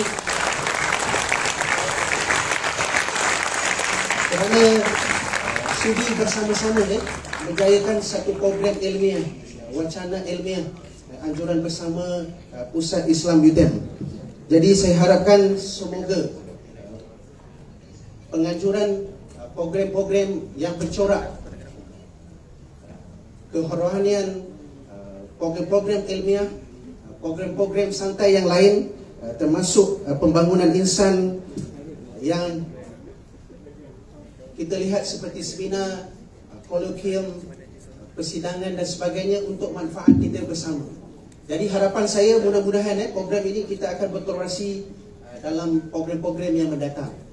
Jadi apapun uh, melalui persetujuan kami, jadi mudah-mudahan impaknya eh, uh, para pelajar-pelajar yang saya kasihi seramai lebih kurang 300 eh, Datuk pada hari ini lebih kurang 372 uh, yang hadir meliputi 5 fakulti.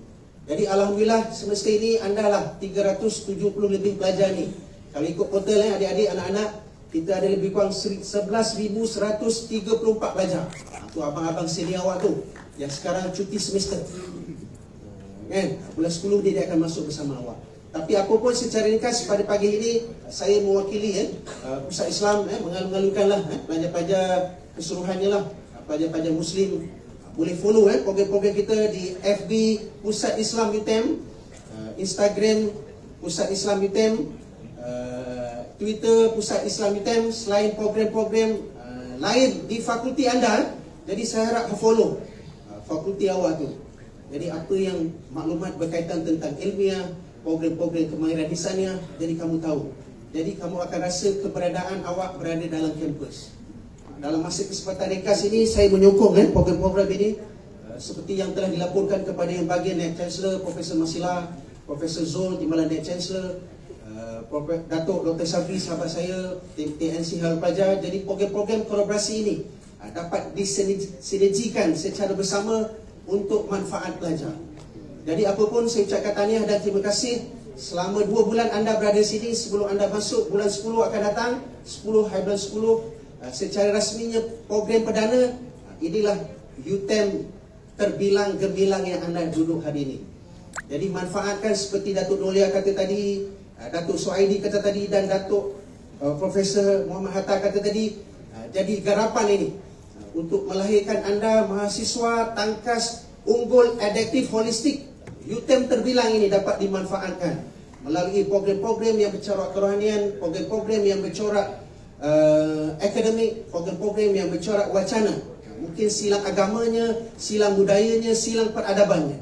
Uh, jadi apapun saya menyokong dan saya memaklumkan program saya di Pusat Islam uh, menganjurkan program-program eh, kuliah-kuliah kerohanian, kuliah-kuliah takbir sepanjang malam saya saya menyeru uh, kepada pelajar-pelajar muslim jika berkelapangan turunlah di masjid kalau tak pun dapatkan di FB live dan satu lagi saya dah meluluskan program Saya menyebut pelajar-pelajar uh, Satu program uh, Laman infak makanan ringan. Sebulan lebih kurang seribu tu. Uh, Datanglah di di di Masjid Sayyidina Abu Bakar uh, Waktu pagi, Rabu dan Jumaat itulah. Uh, Jika anda berkelapangan uh, Dapatkan di ruang makanan itu. Jadi mudah-mudahan dapat Kita berkongsi rezeki bersama. Eh, selain program-program kerohanian, program-program spiritual, program-program silang agama budaya yang saya katakan tadi. Jadi apapun akhirnya secara ringkas, eh, mudah-mudahan uh, program-program ini dapat diteruskan. Jadi saya sekali lagi saya ucap tahniah dan terima kasih uh, kerana sudi APTK kerana sudi bekerjasama dengan Budak Islam untuk menjayakan. Dan juga terima kasih bagi Datuk eh, di atas pengusian yang ringkas seperti mana maklum Datuk uh, saya dengan Datuk Nolia menjadi moderator dulu dengan Dr. Safia penganjuran kita Dr. Zah. Datuk juga adalah merupakan Ajong uh, yang rajin menulis, yang rajin berkongsi ilmu. Uh, dulu sebelum ni COVID kan, kita selalu online. Jadi Alhamdulillah hari ini saya dapat bertemu dengan Datuk uh, secara live. Uh, cakap dengan telefon selalu cakap dengan uh, online webex tu kan. Jadi terima kasih Datuk.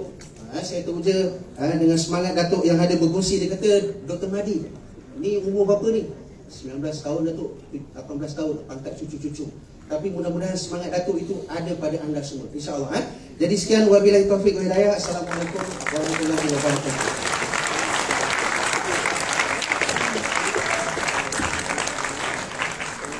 Terima kasih ucapkan kepada yang berbahagia doktor dan ucapan aduan sebentar tadi. Cempaka Sari Warisan Sejati menjadi kebanggaan seisi negeri. Ucapan perasmian sangat dinanti, berilmu tinggi, bijak bistari. Majlis seterusnya dengan menjemput yang berbahagia Profesor Madya Dr. Safi Habib Sidik, Dekan Institut Pengurusan Teknologi dan Keusahawanan untuk menyampaikan ucapan dan seterusnya merasmikan majlis pada pagi ini. Majlis dengan hormat yang mempersilakan.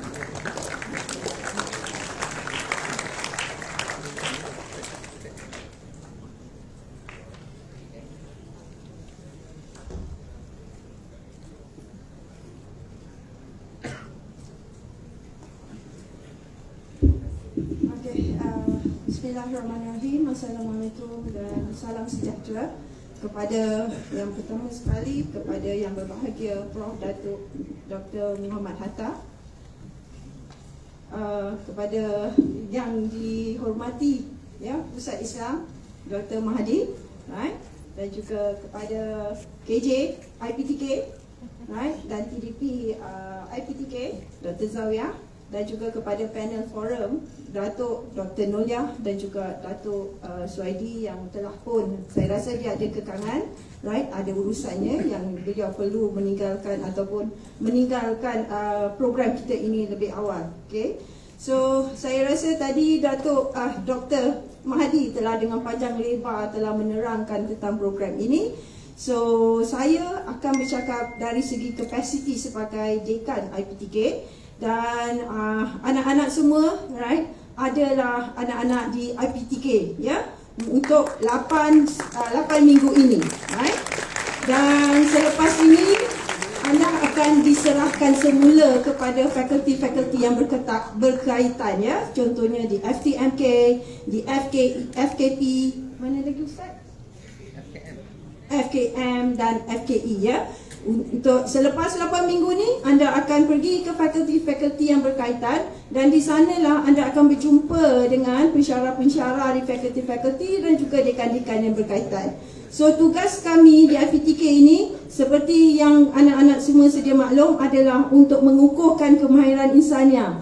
Di situlah di mana kamu didedahkan kepada dua kursus utama iaitu kepimpinan dan juga uh, PEP iaitu penghayatan etika dan peradaban. Kedua-dua kursus ini kalau kita lihat ini adalah salah satu daripada climax of these two subjects whereby you are given some kind of uh, motivation right daripada Datuk Nolia tadi dengan begitu bersemangat sekali dan juga daripada Datuk Swaidi dan juga daripada Prof Hatta especially on our cult, right? Spiritual, right? So this is some kind of pada saya a reflection not just to all of you but also to me. Sebab saya pun dah umur dah 50 lebih ni but still right I'm learning something just now, right? Whereby we need to actually somehow do some reflection on ourselves. And you are all the young people who is going to be the future generation of Malaysia. So I hope you can take all this information given by us here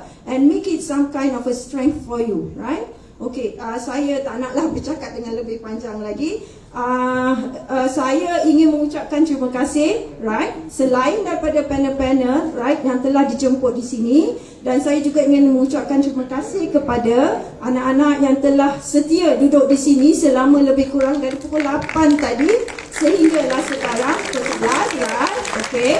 Dan juga saya tidak lupa kepada ahli jawatan kuasa daripada Pusat Islam dan juga ahli jawatan kuasa daripada IPTK yang telah sama-sama bertungkus lumus untuk menjayakan program ini. Ya. Uh, itu saja yang dapat saya katakan hari ini. Right, sekian terima kasih. Assalamualaikum warahmatullahi wabarakatuh. Majlis merakamkan ucapan jutaan terima kasih dan sekalung penghargaan kepada yang berbahagia Profesor Madya Dr. Syafi Ahmed Sidi di atas ucapan peresmian sebentar tadi.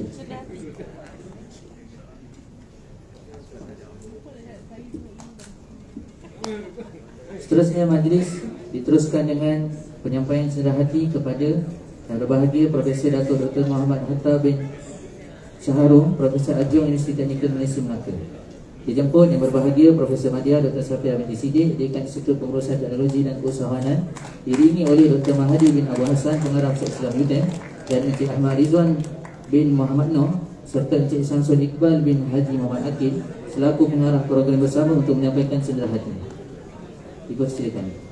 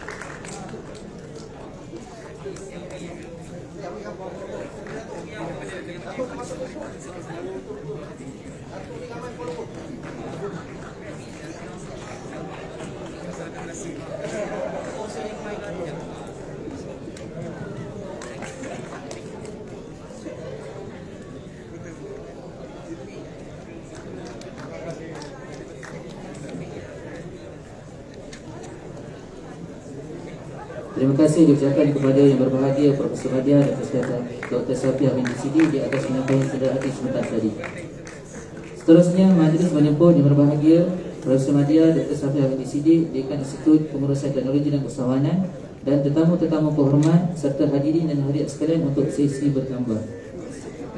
Uh, sebelum itu ya satu uh, statement yang saya terlupa nak sebutkan adalah dengan ini saya merasmikan